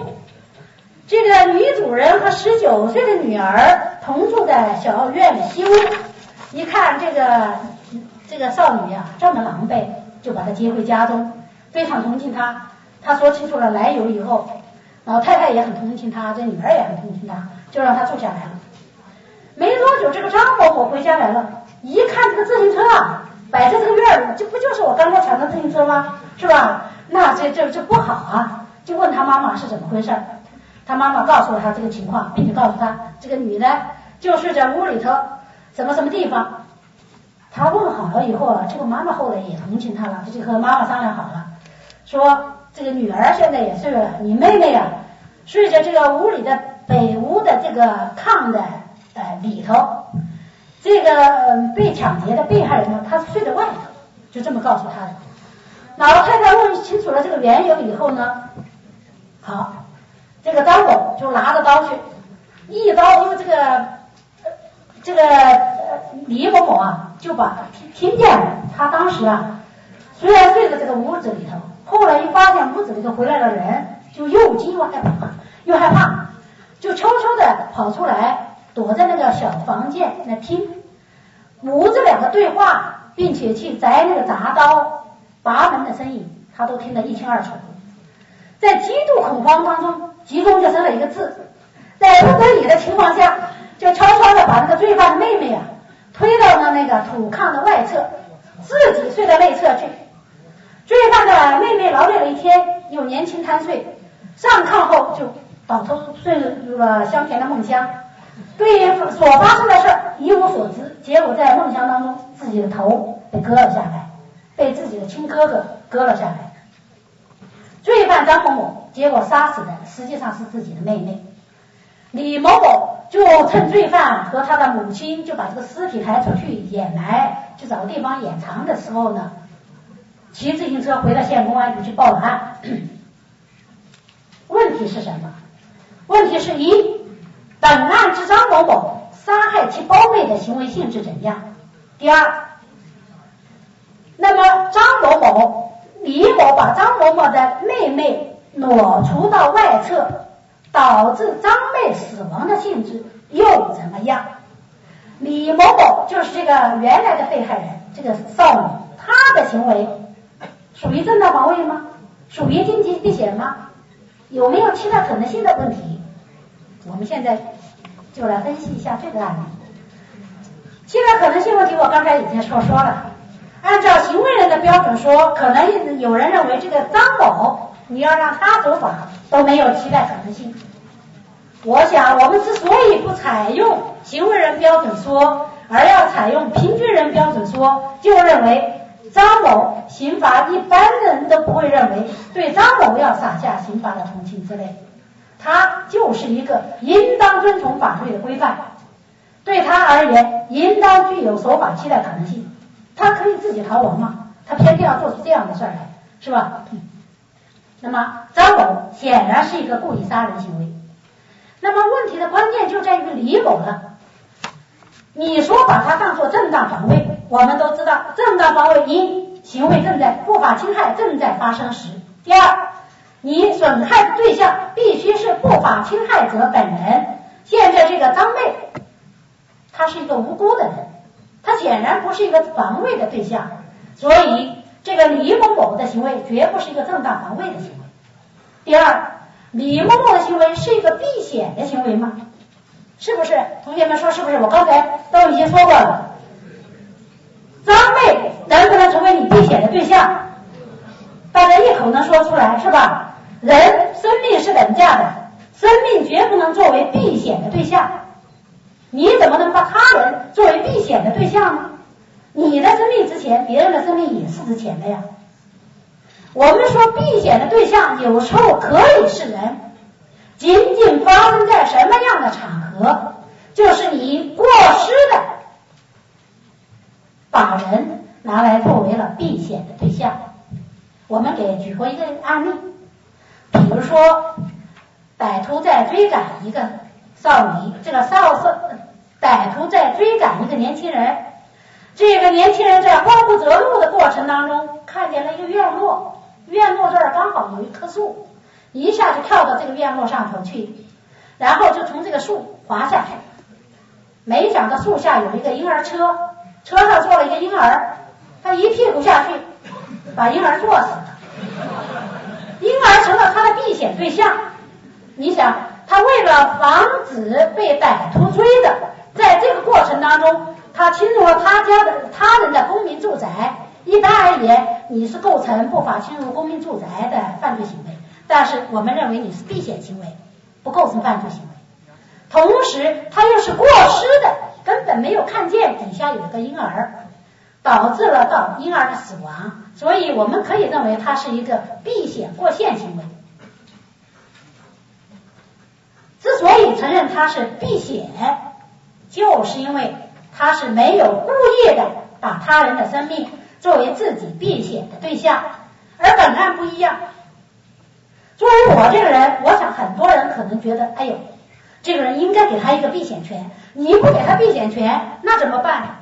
那就成了这个张某某和李某某实际上是相继行为，构成一种两人的相继行为，构成了故意杀害他人的行为。那么李某也要负刑事责任。我又不想让李某负刑事责任，所以我就给他一个避险权吧。可是你开了这样的先例，我们今后这个避险就很难掌握了。而且我们从来不认为你的生命比别人的生命还值钱一些。我们从来认为避险要保全的利益必须要大于你损害的利益。更何况，如果我们这么看的话，就可以说死两个人来救一个人了。之所以我们连死两个人就一个人不在抓阄的情况下都不加以承认，就是任何人的生命都不能成为避险的对象。所以说本案就只有一个考量，可不可以有期待可能性的问题。我的考量是这样的，可能很多人说，哎呦，还是要考虑一下他当时，你看案情都说他是在不得已的情况下把这个妹妹挪到外侧的。那么他是走投无路了吗？我想，作为一般人的伦理道德观，你为了要保全你自己的生命，把一个无辜的曾经救助过你的人放到刀口上，我觉得是还是很难容忍的。就我而言，很难认可把它作为没有期待可能性的行为。我最多把它认可为期待可能性比较小的行为，从而减轻他的刑事责任。要说他没有刑事责任，我觉得不想鼓励这种情况。作为伦理上、道德上，社会我觉得也不应当鼓励这种情况。我看网上很多人认为，哎，这种情况都觉得做无罪处理了，除罪。我是不太赞同，直接作为没有期待可能性来处理。所以我想这个情况恐怕是不是应当这样的看？因为我们在看一个英美刑法上的判例，在英美刑法上有这样一个判例：X 他在一名持枪在逃的重犯 Y 的加持下。驾车行驶在一个狭窄陡峭的山道上，山道两旁都是深谷。此时呢，通过车灯，X 发现有两个醉酒的人正横卧在道路当中。他的车要开过去，就只有把这两个醉汉压死，没有其他路可走，除非不顾两人生命而碾过其身体。否则，车辆无法在该狭窄陡峭峭的山道上通行。那么，在 Y 的死亡威胁下，X 不敢停车，只得继续驾车前行。本案中虽然为挽救自己驾车碾死了两个醉酒的人，但是陪审团仍然认可他。可以做免责辩护。我现在讲举这个例子给大家说的就是，他做免责辩护的事由是什么？是被胁迫事由辩护，而不是紧急避险辩护。我们就说了，英美刑法上紧急避险辩护，一人不能作为辩护的呃避险的对象；二保全的利益要大于损害的利益，但是被胁迫辩护却不一样。被胁迫辩护本身往往就是自己也遭到了生命威胁，而且有时候可以允许，就是这个保全的利益和损害的利益不等同。我通过这个案例，主要是想要看出这个，就是狭义上的欠缺守法期待可能性的行为，它是和那个被胁迫辩护和英美刑法上的被胁迫辩护和我们国家的紧急避险辩护有时候是不一样的。你不能完全等同起来看，有时候你完全等同起来看，你会出事的。所以呢，我们这种行为呢，我们一定要要考虑一下。我记得我那次到到那个西南财经政法大学做了一个讲座，当时有一个同学他问我一个问题，他这样问我的，他说如果甲和乙有仇，那么。甲就拿出一把枪来威胁乙，说：“你马上把我的仇人杀死，你要是不杀死我的仇人的话，我就马上把你杀死。”他说：“这种情况下，呃，他就不得不把这个仇人杀死了。你认为有没有期待可能性的问题，还是一个其他什么问题？”我想啊，这种情况恐怕我们就可以做更多的分析，比如说。在这种情况下是，比如说甲以匕首来威胁某乙，让乙当场杀死甲的仇人某丙，那么某乙就真的枪杀了啊某丙。那么我觉得呢，这种情况对某乙是否可以做这个辩护呢？那就不一样了，因为你是拿的是一个匕首，和拿枪是不一样的，枪的胁迫性是要大得多的，是吧？如果你你直接拿个枪和直接拿个匕首是不一样的。甲以手枪直接对准某乙，为丙乙杀死某丙，乙调转枪头，如果杀死甲的行为，那么应当属于不法，属于正当防卫，因为不法侵害正在发生。如果甲拿出一把枪来搁在桌子上，放在桌子上为丙乙去杀死某丙，乙反过来杀死了某甲。那么，我觉得这个时候对乙的行为可以考量为司法期待不能，因为甲的不法侵害行为尚未开始嘛，你这个时候没有防卫权的。那么我这个时候杀死了你这个威胁人甲，可以考虑为欠缺守法期待可能性，从而让他免责。如果甲拿出一把刀来放在桌子上，威胁某丙、某乙杀死某丙。乙这个时候反过来杀死甲的行为，可以定性为期待可能性较小的行为，因为这个时候不是一把枪，而是一个刀子，就不一样了。所以行为的情况不一样，那就完全不一样。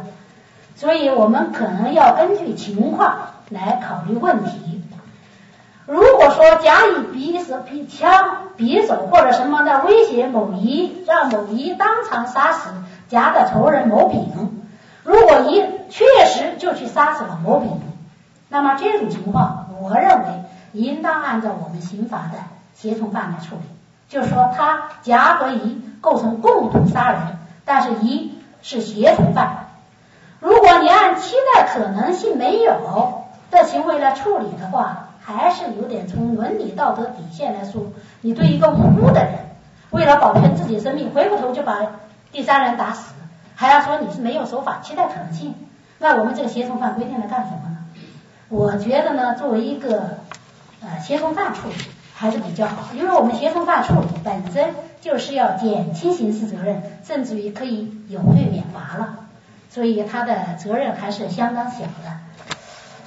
那个期待可能性的最后，我想用一两分钟来说明，因为时间已经超过了。就本来还有第四个问题，就是期待可能性在中国的实践挑战，我我就没有说，但是我想简单说一下我的观点。实践的挑战我已经没有情，没有时间说了。我有一篇文章，我想可能大家有些同同学已经看见过。就叫叫死罪死刑与期待可能性，在环球法律评论上发表的。我其中特别举到了一个案例，就是一个农妇某甲，因为她的妻丈夫长期虐待她而出走了。她出走了，她丈夫在骗寻她不果的情况下，就悍然闯入隔壁邻居家，要让隔壁邻居家呀，这个男主人。马上你去给我的妻子找回来。假如你不给我的妻子找回来，你的妻子就是我的妻子。我就要你以你的妻子为我的妻子。那么这个某家是一个当地一霸呀，这个隔壁邻家也很怕他，就果不其然替他出去找他的妻子。后千辛万苦找到了佳期，这个某丙啊。不惜以自己的男儿之身下跪，说你赶紧回去吧，你要是不回去，我的妻子都被他长期霸占了。于是乎呢，这个夹妻看见是这种情况，也确实可怜，就回去了。回去了以后，某家对夹妻就是一顿暴打，暴打不说，还要威胁这个遍体鳞伤的妻子，你就在我的床前，给我跪下。跪下，而且要眼睛目不转睛的，你要看着我，你不能低着头跪下。当时他们的小儿子还在场，就当着小儿子在场，你要目不转睛的看着我跪下受打。打的女的遍体鳞伤的情况下，带这个他自己的妻子写了一份遗书，说明天我再来要你的命，今天我打累了，我先睡一会儿，他就倒头睡了。在他倒头睡下的时候，妻子还跪着呢。跪了，他一看，他睡得很熟啊。于是乎，悄悄悄起来，就走到隔壁邻居家，去跟隔壁那个邻居，不是也曾经受害吗？林妻曾经成为他的妻子吗？跟他们，然后又找来自己的妹妹、妹夫，五个人一合计，合计，既然明天早晚我是要被你杀死的，与其明天被你杀死，不如今天把你杀死。于是乎，他们五个人一合计。不如结果了？他自救，结果五个人一起趁这个一熟睡之机呢，就把他乙某甲呀勒死了。结果这五个人都被判刑了，都负了刑事责任。大家听听这个案例，有没有守法期待性不能的问题，或者说守法期待可能性比较小的问题？我们再举一个案例二。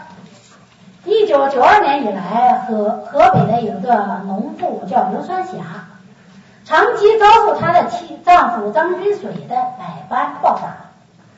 张君水呢好吃懒做，一天就是赌博，天天呢就是他这个妻子终日操劳，独立维持一家五口人，因为有三个孩子，还有一个公公，维持一家的生计。结果呢，他动不动就是拿出刀来打。那么经过这么过了十多年以后，曾经拿着菜刀砍，拿着这么刀来打。以后有一天，他又先后用皮鞭、斧子来伤害他，并且拿着这个斧子跟着他就满院子追，连小姑子、连公公来劝止都劝止不了。在这种情况下，这个刘三霞在忍无可忍的情况下，在二零零三年一月十五日的一个晚上，她呢等到她的丈夫睡着了以后呢，她在给她丈夫的做的早餐当中下了毒。结果第二天，丈夫吃了他这个毒饼以后中毒身亡。检察官后来到了他们村子里头去逮捕这个刘三霞。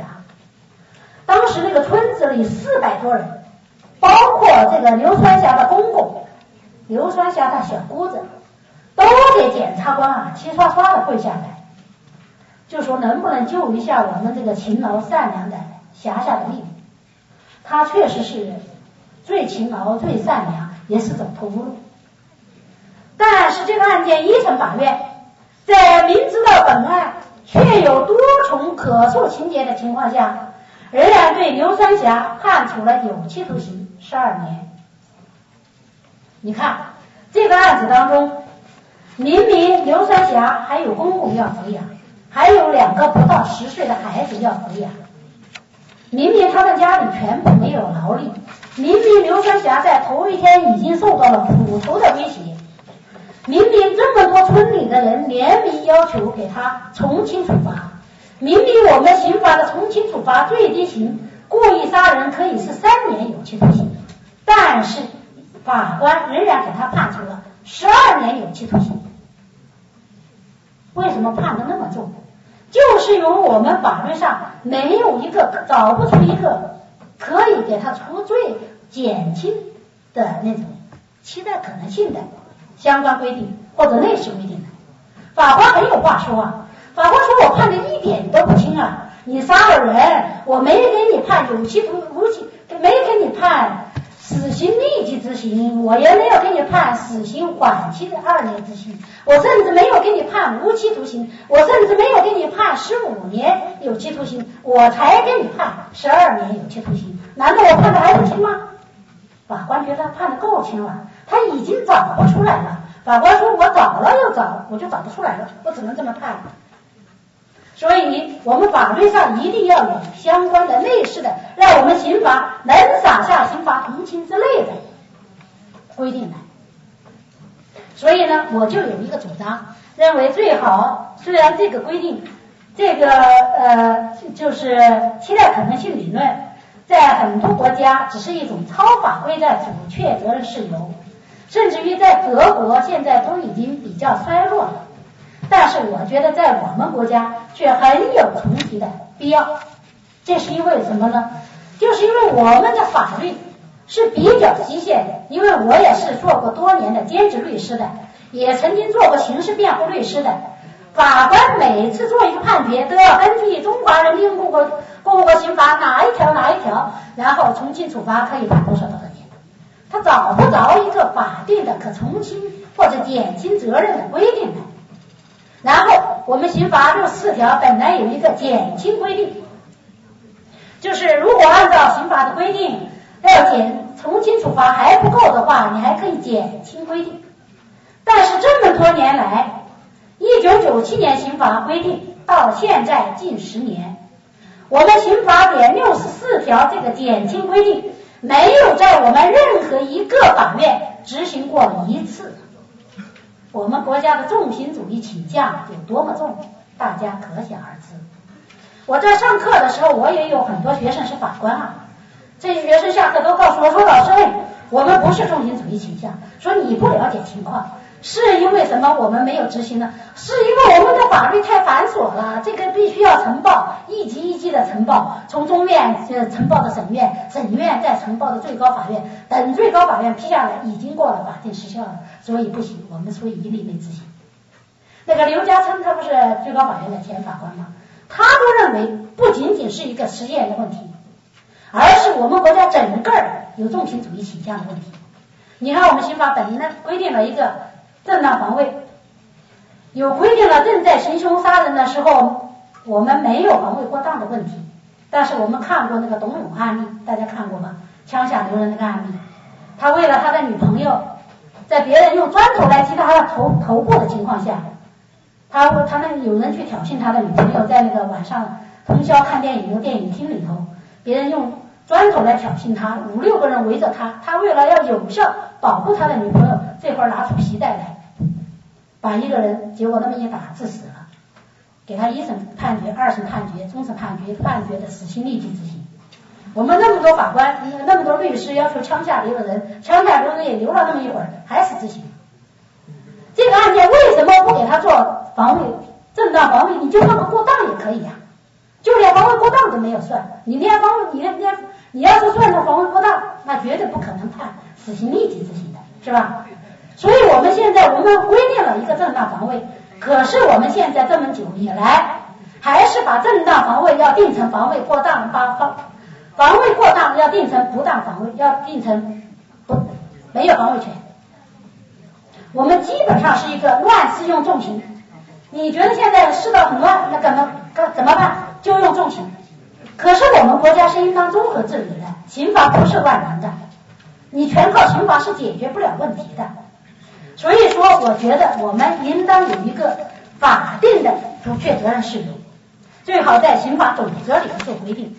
因为我这个想法也是比较破天荒的，所以就连我的一个博士生都写了一篇文章，说的这种呃就是理论，这种设想在我们刑法里头可能是不太可行的。为什么呢？呃，因为我们国家呢呃怎么样怎么怎么样，最好呢就做个激情犯规定比较好。但是我之所以要觉得把它做不要做超法规准确事由，而要做一个法定的准确事由，就是因为我们国家的法官历来都是比较机械主义的在执法，重心主义的执法倾向加上机械主义的执法倾向，你们只要在法院去实习一下，我去一实习我就就觉得就真是非常机械，一条一条的要去对照，对照完了，然后才能他才能出罪，才能减轻或者。所以你想就这么，你看有些人说把它按受虐妇女综合症来处理，有些人说刑罚不是有个酌定从轻处罚情节吗？你就按酌定从重处从轻处罚情节来处理。实际上法官按酌定从轻处罚情节来处理，就只能判十二年，或者像董董勇那个案件就只能判立即执行，他没有办法。所以你必须把它作为一个，就我们现有的国情来讲，你只有在法律里头把规定出来，这个替代可能性。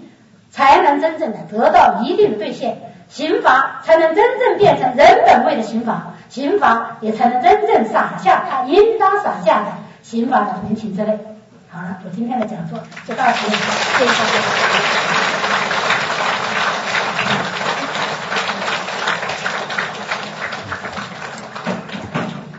谢谢大家。现在大家。有什么问题是还是可以再提一下。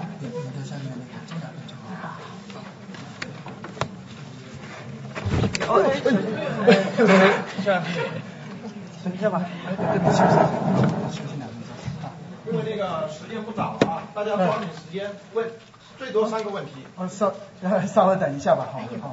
那个，嗯，对，呃，那么呢，这个听了我们的曲教授这个非常深入浅出的、充满激情的这个演讲的话，我们是感受深深啊，启发多多啊。我突然在想啊，某一天。如果突然失业了，对吧？这个什么也不会干，你看知识分子对不对？这样跑到北京去流浪，是吧？哎，这气好，什么东西都都讨饭要钱要不到，正好碰上我们碰上我们曲教授从银行里面取钱出来，哎，这个时候抢一把，曲教授，这个时候是吧？我们能不能利用这个期待可能性的理论，让刑法官们洒下一点同情的眼泪呢？哈，这是开玩笑哈。那么下面呢，请我们那个童博士，那给你五分钟，做一个，好好，啊，一个简洁的一个哈，一个点评还是一个都可以哈，嗯，请，不是上来吧，上来。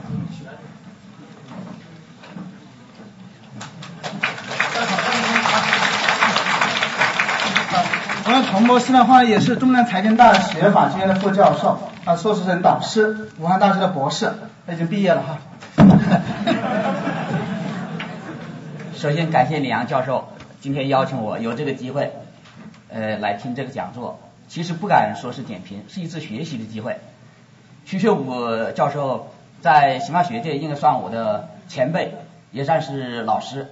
他最近这么多年涉猎甚广，但是他今天主要讲的题目是刑法中的其他可能性，应该说是这样一个题目。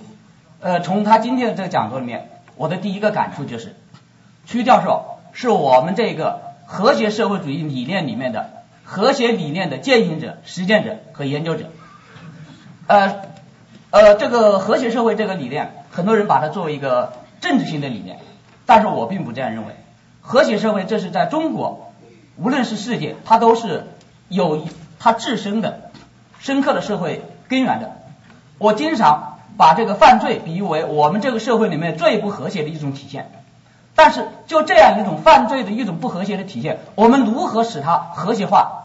这不仅是一种经济制度的任务，也不是一种政治的任务，而且也是我们刑事司法人的一种任务。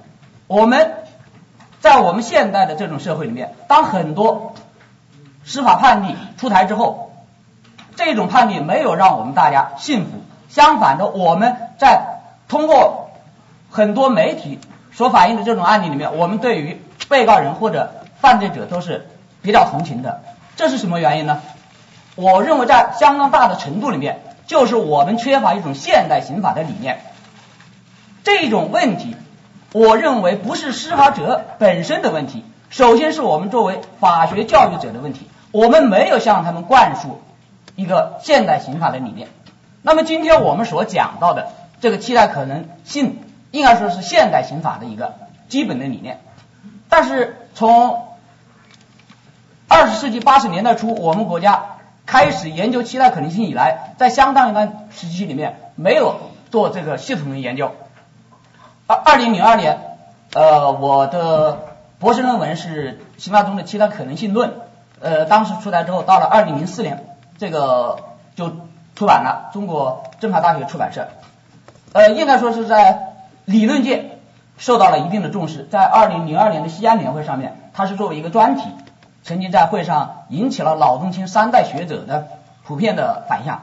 但是从二二零零二年之后，应该说。这个期待可能性的研究，仅仅只是受到了一些前卫的年轻的学者的关注，而像呃屈教授这样的作为前辈对此进行一些一系列的研究的是很少的。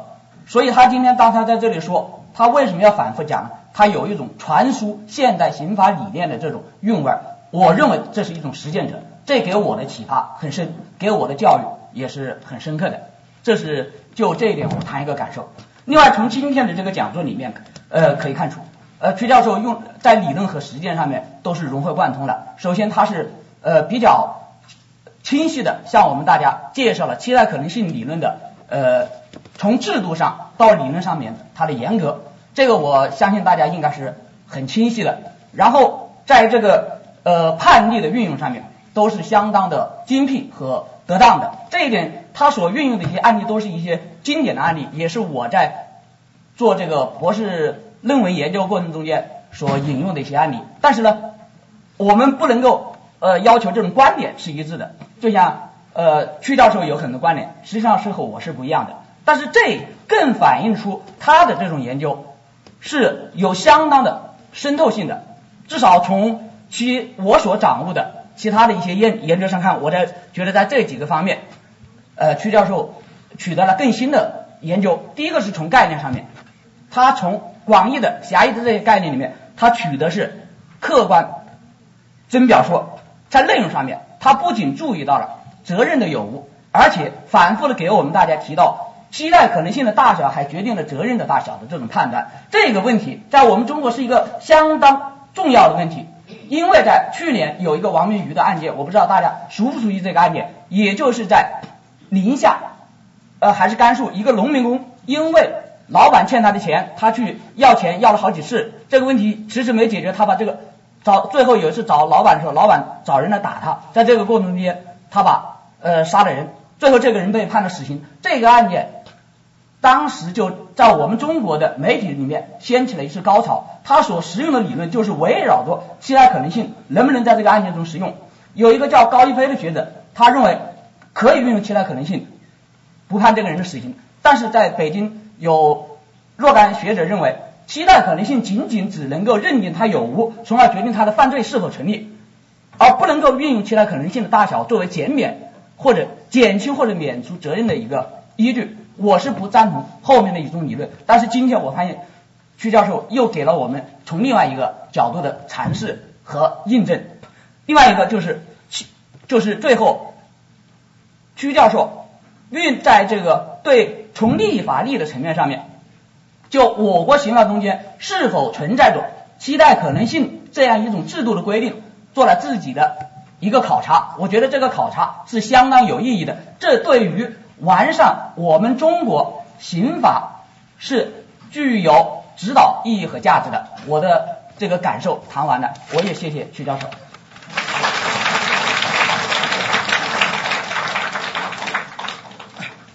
那么感谢我们那个童教授这个简短精辟的这个评论。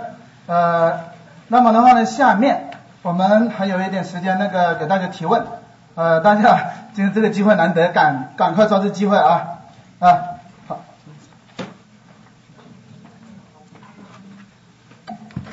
呃，我现在觉得教学相长是非常重要的，所以大家有什么问题尽管问。我要是万一答答不起来，可以和大家互相研研讨，好吗？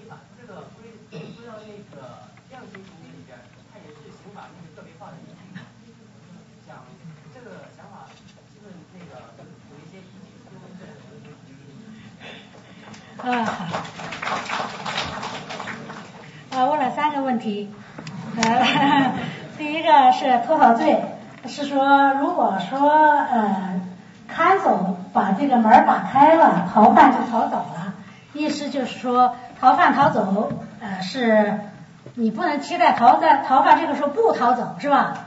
不逃走要让他守法是没有期待可能性的，是这个意思吗？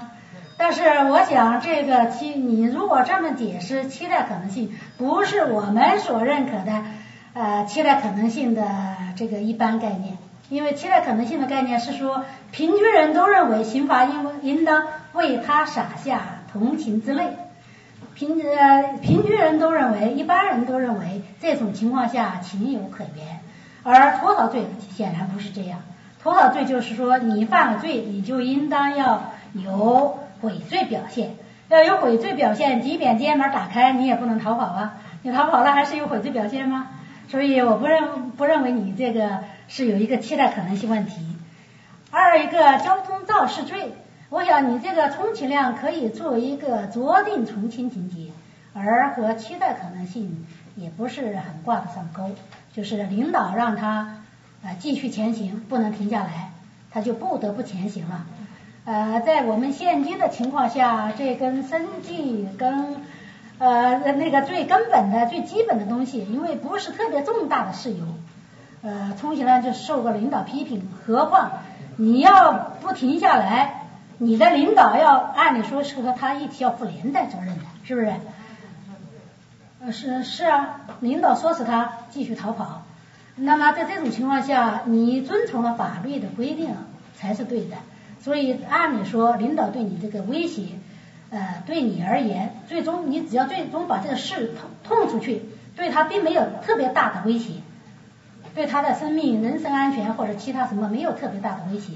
所以用这个来说，没有守法期待可能性，好像把我们的期待可能性的呃标标准也弄得太低了些。呃，另外你说这个破碎情状，我们是把它作为判断有无期待可能性的增表，呃，一个特殊用语叫增表，而不是用于叫做情节。因为刑法里的量刑情情刑法有两种情节，一个叫定罪情节。这个情节有与无是你构成犯罪还不构成犯罪的关键。一个是量刑情节，就是达到这样一个情节，那么刑期可能更重，刑罚的法定刑可能更重。所以这个跟我们这个真表没有关系，这个真表是拿来做判断用的。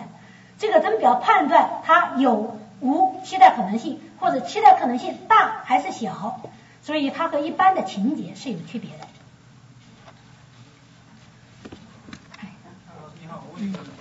就是其实期待可能性，嗯，就我的理解来说，他在具体判案的时候，其实是跟法法官的素质是很有关系的，因为他毕竟很多都是个案处理。嗯。那么我的问第一个问题就是，这这种情况下会不会给一些有钱有势的人敞开了一扇逃避法律的之门呢？这第一个问题。第二个问题是，在很多情况下，你比方说现呃厦门远海案，很多很多都是集团性，呃就是一个科一个处。集体集体的，嗯，就是都贪污。在这种情况下，作为一个个人的话，他他可以说他其实没有什么选择余地，要么在这干，要要么就走人。然后在那种情况之下，如果你从你你就是比方说你本科毕业，找到了一份海关的工作，然后你把这个辞了，然后是不是他也嗯存在一种期待可能性？他必须要贪贪污呀，就这两个问题。嗯，请坐。呃，你刚才说那个法官素质有关。因此呢，有钱有势的人会不会因此而逃脱法律的惩罚？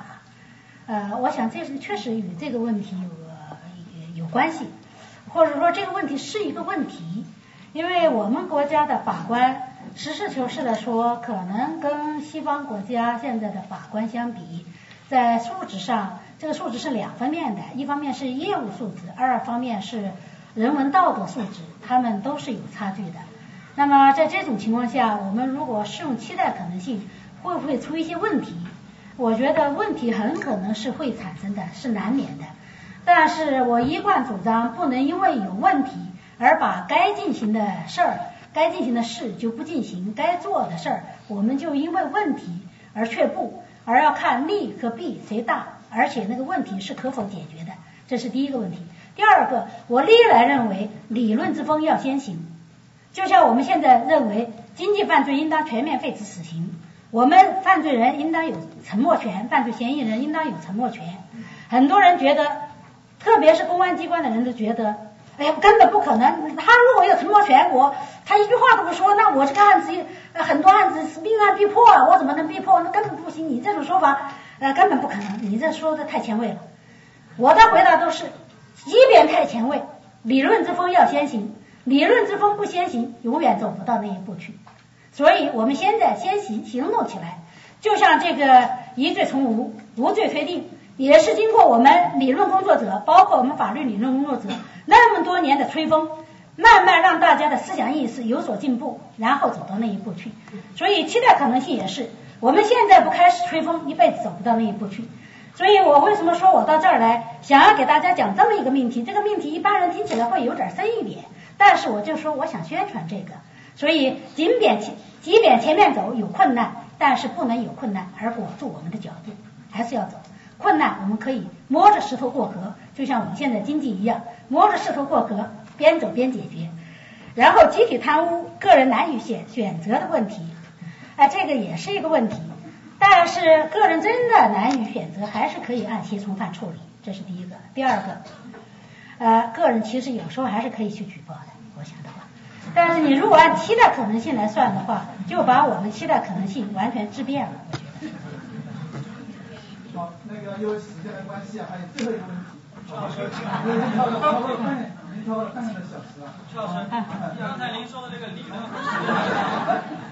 我想问一下，因为您说理论要先行是吧？但是这个期待可能性的这个这个理论，恰恰给我的感觉它是实践先行的，因为您您说的这个匹马案，它首先是来自于一个真实的案例，在这个案例的带动下，才有理论来研究。那么这是不是和您的说法有点矛盾？而且我们知道，在德国这种所谓的传统的大陆法系来说，是没有法官造法这个功能的。那么在这里，这个匹马案是不是从某种意义上说，它其实是法官的造法？问题。第二个问题就是，您刚才在介绍这个理论的时候，您把这个期待可能性与我们呃这个紧急避险，还有这个正当防卫做了一个比较。那我个人认为，这个比较是不是恰当？因为紧急避险和正当防卫，它只属于犯罪构成的第二个要素，就是阻却违法性的，而这个呃期待可能性，可能它属于另外一个层次，就是阻却这个可得性的。那么我觉得这两个您把它放在一起？嗯，好，请坐，谢谢你的问题。呃，那我就来回答一下。第一个问题，你说的不错，法院法德国本来是不是一个判例法国家？但是期待可能性这个确实看起来好像是判例创制了法律，所以在德国呃确实是比较例外的。但是实际上德国它是这样的，有了这个判例，几年以后才慢慢开始产生这个理论，然后理论推动它最初有一些我刚才举的1925年什么这样的法律规定，然后它现在又慢慢没有了。我我所说的理论之风应当先行，是指我们国家的现状。我们国家从现在来说，理论之风还没有先行，是在于我们普遍绝大多数法官可能都还不懂期待可能性。你大多数的法官，除非那些科班出身的法官，甚至于他可能是专门学刑法的法官，甚至于我有一次在北京一个检察院做一个讲座。只是提附带的提了一下期待可能性，不是专门讲期待可能性。这个检察官都说，他说我上大学专门学法律的，学了那么多年，我都没有懂懂期待可能性，但是我这回懂了。所以很多人是不懂的，还需要吹这个理论之风。至于实践，由于我们实际上并没有，你看哪一个判例，哪一个案例曾经引用过说用期待可能性理论来给他减轻刑事责任的，或者阻却刑事责任的。可以说一例都没有，他最多说酌定从轻处罚情节，他来把它弄了，他绝不用这几个字。所以实际上我们国家理论很少，仅仅在于刑法学界，实践更少。所以为什么实践更少呢？就是理论这个风还吹得不够。本来是应该实践，然后升华为理论，理论反过来指导实践。但是既然这个实践已经在国外已经有了，而且理论在国外已经比较成熟了。然后我们根据我们国家的国情就是不一样，其他那些国家把它在分则里头做规定的。我之所以觉得或者其他国家作为超法规准确事由，我之所以觉得我们国家不能在分则里头做一个规定，比如说亲亲相隐不为罪，或者说不能做超法规阻却责任事由，就是在于我们国家的国情是相当机械的办一个案子，那么又是相当重刑主义的，所以你不如把它作为一个法定阻却责任事由。这样的话还比较方便些，所以你你举的这个第一个案例子，主要是就说明这个情况是吧？然后你刚才问我的第二个问题，主要是问的一个呃什么什么事儿？就是他们两个这两个比较是否恰当？哦，对对对，我想起来了，正当防卫这个是这样的，你就恰恰听错了，我就恰恰说的是防卫过线或者避险过线，作为广义的期待可能性理论来解释。减轻他们的责任还是可行的，但是如果正当防卫、紧急避险本身就用期待可能性来解释，有些学者认为可以这么解释，认为正当防卫和紧急避险的规定就是我们国家承认期待可能性或者期待可能性理论在我们中国法律当中的一种体现。我刚才恰恰就是说的这些事儿本来就是一个一般性的规定，并且把它已经做了合法规定，并且紧急避险本身就不是一个危害社会的行为。它是一个一个有益于社会的行为，正当防卫也是这样，而期待可能性恰恰是你已经认识到行为有社会危害性，只是在意志因素上你难以做出遵从法律规范的抉择来，所以把他们解释为期待可能性是比较牵强的，我是不是很赞同的？所以其实我们是不谋而合的。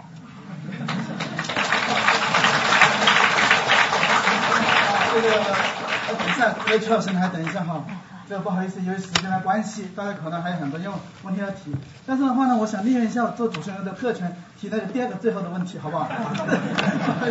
这个，这个刚才这个听了这个曲曲教授的讲座，我突然想到，如果在抗日战争时期，对吧？你看，这个很多人被这个日本这个日日本这个这个军队抓起来了，抓起来之后，给你逼是吧？用处长逼着你，就是说啊，你一定要。告诉某一个共产党员的下落，不告诉你的话，我就把你的村子里面，把你家里面全杀光，对不对？那么在这种情况下面，我们能不能利用这个七大可能性呢这个理论，是吧？这个呢，来那个来消除这个这个叛国叛国罪的这个罪名呢？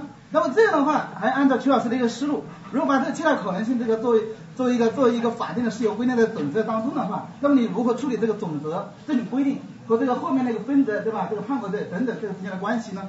我想问这个问题，谢谢啊。关系就是这样，恰恰是这样，就是期待可能性是要解决一个什么问题？就是按照一般常情来看，这种情况是应该入罪了。分则里头已经做了规定，但是如果这个附随状况，根据这个附随状况，当然是由法官来做出判断。现在我不是法官，假如我充当一个临时法官来判断，就这个钟表要把你一个村儿一个全部杀光，你说不说出来是吧？那么我这个法官的判断是期待可能性较小，可以减轻刑事责任。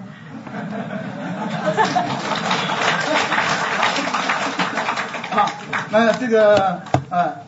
呃，那由于时间的关系，这个今天我们曲教授啊，这个呃，给我们今天到这个哈，这个不远千里来了武汉，给我们吹了一点这个刑法的同情，这个同情眼泪的微风啊，对吧？我们再一次以热烈的掌声感谢曲教授今天的演讲啊，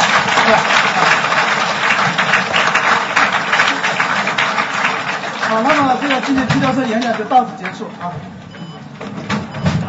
哦，没了。的问题，外观做好。